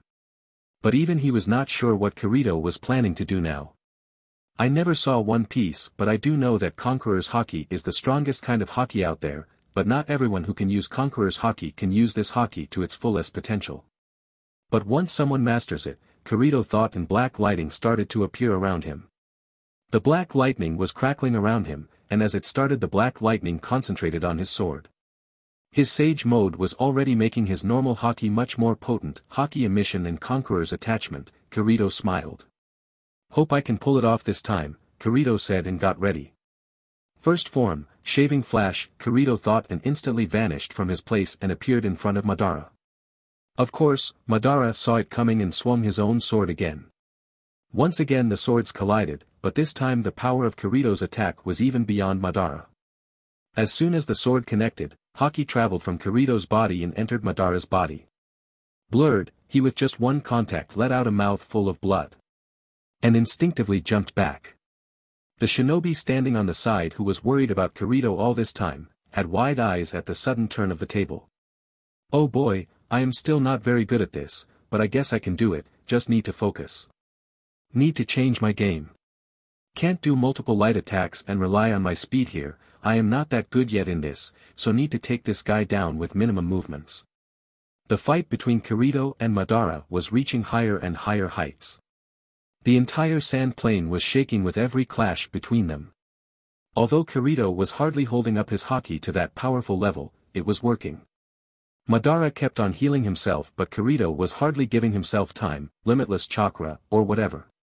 There has to be a limit of his healing and that is what Kirito was bunking on. After all, Kirito didn't need to completely kill Madara with his attacks. He just had to render him useless just for enough time to start his plan. Madara for all his lust for battle and all was now panicking. None of his techniques were working on Kirito. He usually won't have worried about much but Kirito Haki was not just damaging him physically but also his chakra. Every time Kirito's Haki attack connected with Madara, his chakra was getting destroyed. Madara was already half of his chakra by this point. So yeah he was panicking. He flies off trying to shake Kirito out, he knows that in the long run, he could win easily but without enough chakra, he can't activate his plan. But Kirito was not giving Madara any chance to get out. Alright, I better just end use it, I will not be able to move after this so I better make this count, Kirito said and once again powerful Haki exited inside as black lighting started to appear around him. Inner gate formation, Kirito muttered to himself. TH gate is his limit actually. He has learned to open up to the eighth gate already but only a fool will do that or if that person has a suicide wish. But right now he has to push his limits. Without pushing his limits, he can't take care of Madara. TH gate of view open, Kirito shouted and like a forced awakening, the power of the inner gate appeared around him. Shaving flash, and with that, Kirito vanished from his place. Madara was moving towards the giant tree but just before he could, like blue lightning Kirito appeared in front of Madara. Here goes nothing, Uzumaki-style one-sword flow, Kirito's hands tightened around the hilt of his sword and swung with all his might. With the physical boost and haki intertwined in his sword, it was almost like the space itself bent when Kirito swung his sword. And with just that, Kirito divided Madara in half before he could even react. Kirito immediately let go of his seventh gate as he was hard enough to hold on to it for just two seconds. The higher one goes into the inner gate, the harder it gets to unlock the gate and maintain its power. But Kirito's eyes widen as suddenly unimaginable pain shoots through his body as the underline of the seventh gate runs out. No get moving, he will heal if I don't hurry, Kira torment himself as he raised his hand up to bite. He needs to summon, he needs to bring forth the Shinigami. Bite, Kirito didn't just bite his thumb, he imitated a certain time traveler freedom fighter. Blood flowed out, he did the hand sign with the same injured single hand and was ready to summon the Shinigami. But just then, blurred, Kirit find himself impaled by something, before even looking down at what impaled him or who did it, Kirito just realized that he was not using his sense right now, damn it he again let down his guard. Looking down he saw he was impaled by a black shadow. Zetsu, this moth, Kirito wanted to give many curses he was thrown out. His body was flown and smashed to the ground. No, Naruto's eyes widened as he saw Kirito getting impaled by Black Zetsu. While Naruto and others wanted to act, and join the fight, seeing that Black Zetsu backstabbed Kirito. But before they could even reach Kirito and Madara.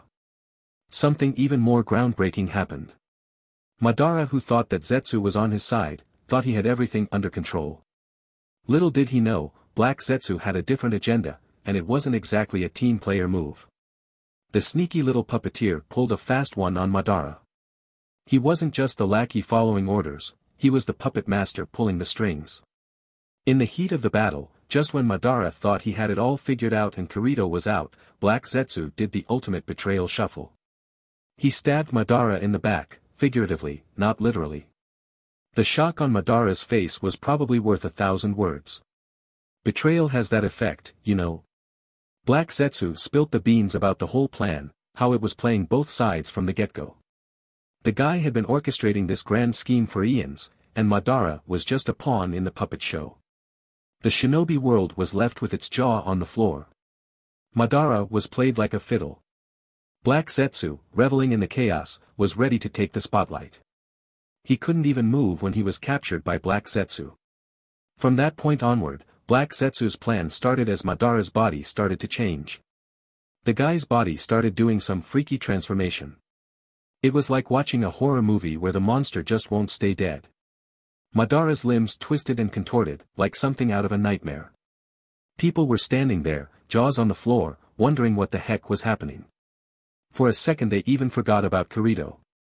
The air got heavy as Kaguya took the stage, with all her majestic She emerged with an otherworldly grace, her presence sending shivers down everyone's spines. The battlefield, once a chaotic mess, now fell silent as Kaguya asserted her dominance. The shinobi world went from facing Madara's grand plan to dealing with Kaguya's cosmic takeover. It was like trading one big bad for an even bigger bad. Kaguya, with eyes that had seen eons, surveyed the world with an air of ancient authority. Kaguya looked around and the first thing she did was to look at both Naruto and Sasuke standing there. Besides the Kages and some Edo Tensei called forth by Kirito, those two were the only ones who could have now fought Kaguya. While this was happening, medics like Tsunade and Sakura were trying to find Kirito but were unable, as Kirito was nowhere to be found. The battlefield quivered with tension as Kaguya, the ancient progenitor of chakra, faced off against Naruto and Sasuke, the last hope of the shinobi world. Kaguya's ethereal presence loomed over them, her power echoing through the air. Naruto, his eyes filled with unwavering determination, charged forward with a barrage of Rasengan. Kaguya, however, effortlessly shifted between dimensions, avoiding the onslaught. Sasuke, calculating as ever, unleashed a barrage of Amaterasu flames, attempting to trap Kaguya within the inextinguishable inferno. Kaguya, undeterred, manipulated the very fabric of reality, creating portals that twisted space around her. Naruto and Sasuke, in a display of synchronized teamwork, attempted to outmaneuver Kaguya's spatial manipulations. The battlefield became a chaotic dance of jutsu, with each move countered by Kaguya's cosmic prowess. The duo pressed on, Naruto weaving through the fabric of Kaguya's attacks with his agility, and Sasuke utilizing his Rinnegan to predict her next move. The air crackled with the intensity of their struggle. Sensing an opportunity, Naruto entered Sage of the Six Paths mode, his chakra surging to celestial heights. Sasuke, drawing upon the indomitable power of his Rinnegan, launched a barrage of high-level ninjutsu. The duo unleashed a combination attack, attempting to overwhelm Kaguya. However, Kaguya, the primordial force, countered with her truth-seeking balls, an impenetrable defense that repelled their assault. The battlefield quaked as the clash of power reached a fever pitch. Sasuke, eyes ablaze, activated his Rinnegan space-time ninjutsu, attempting to outmaneuver Kaguya's ever-shifting dimensions. Naruto, utilizing his immense chakra reserves, entered Tailed Beast mode, the raw power of the Nine Tails surging through him. In a daring move, Sasuke and Naruto synchronized their attacks, creating a vortex of elemental devastation. Kaguya, momentarily caught off guard, found herself ensnared within the tempest of their combined power.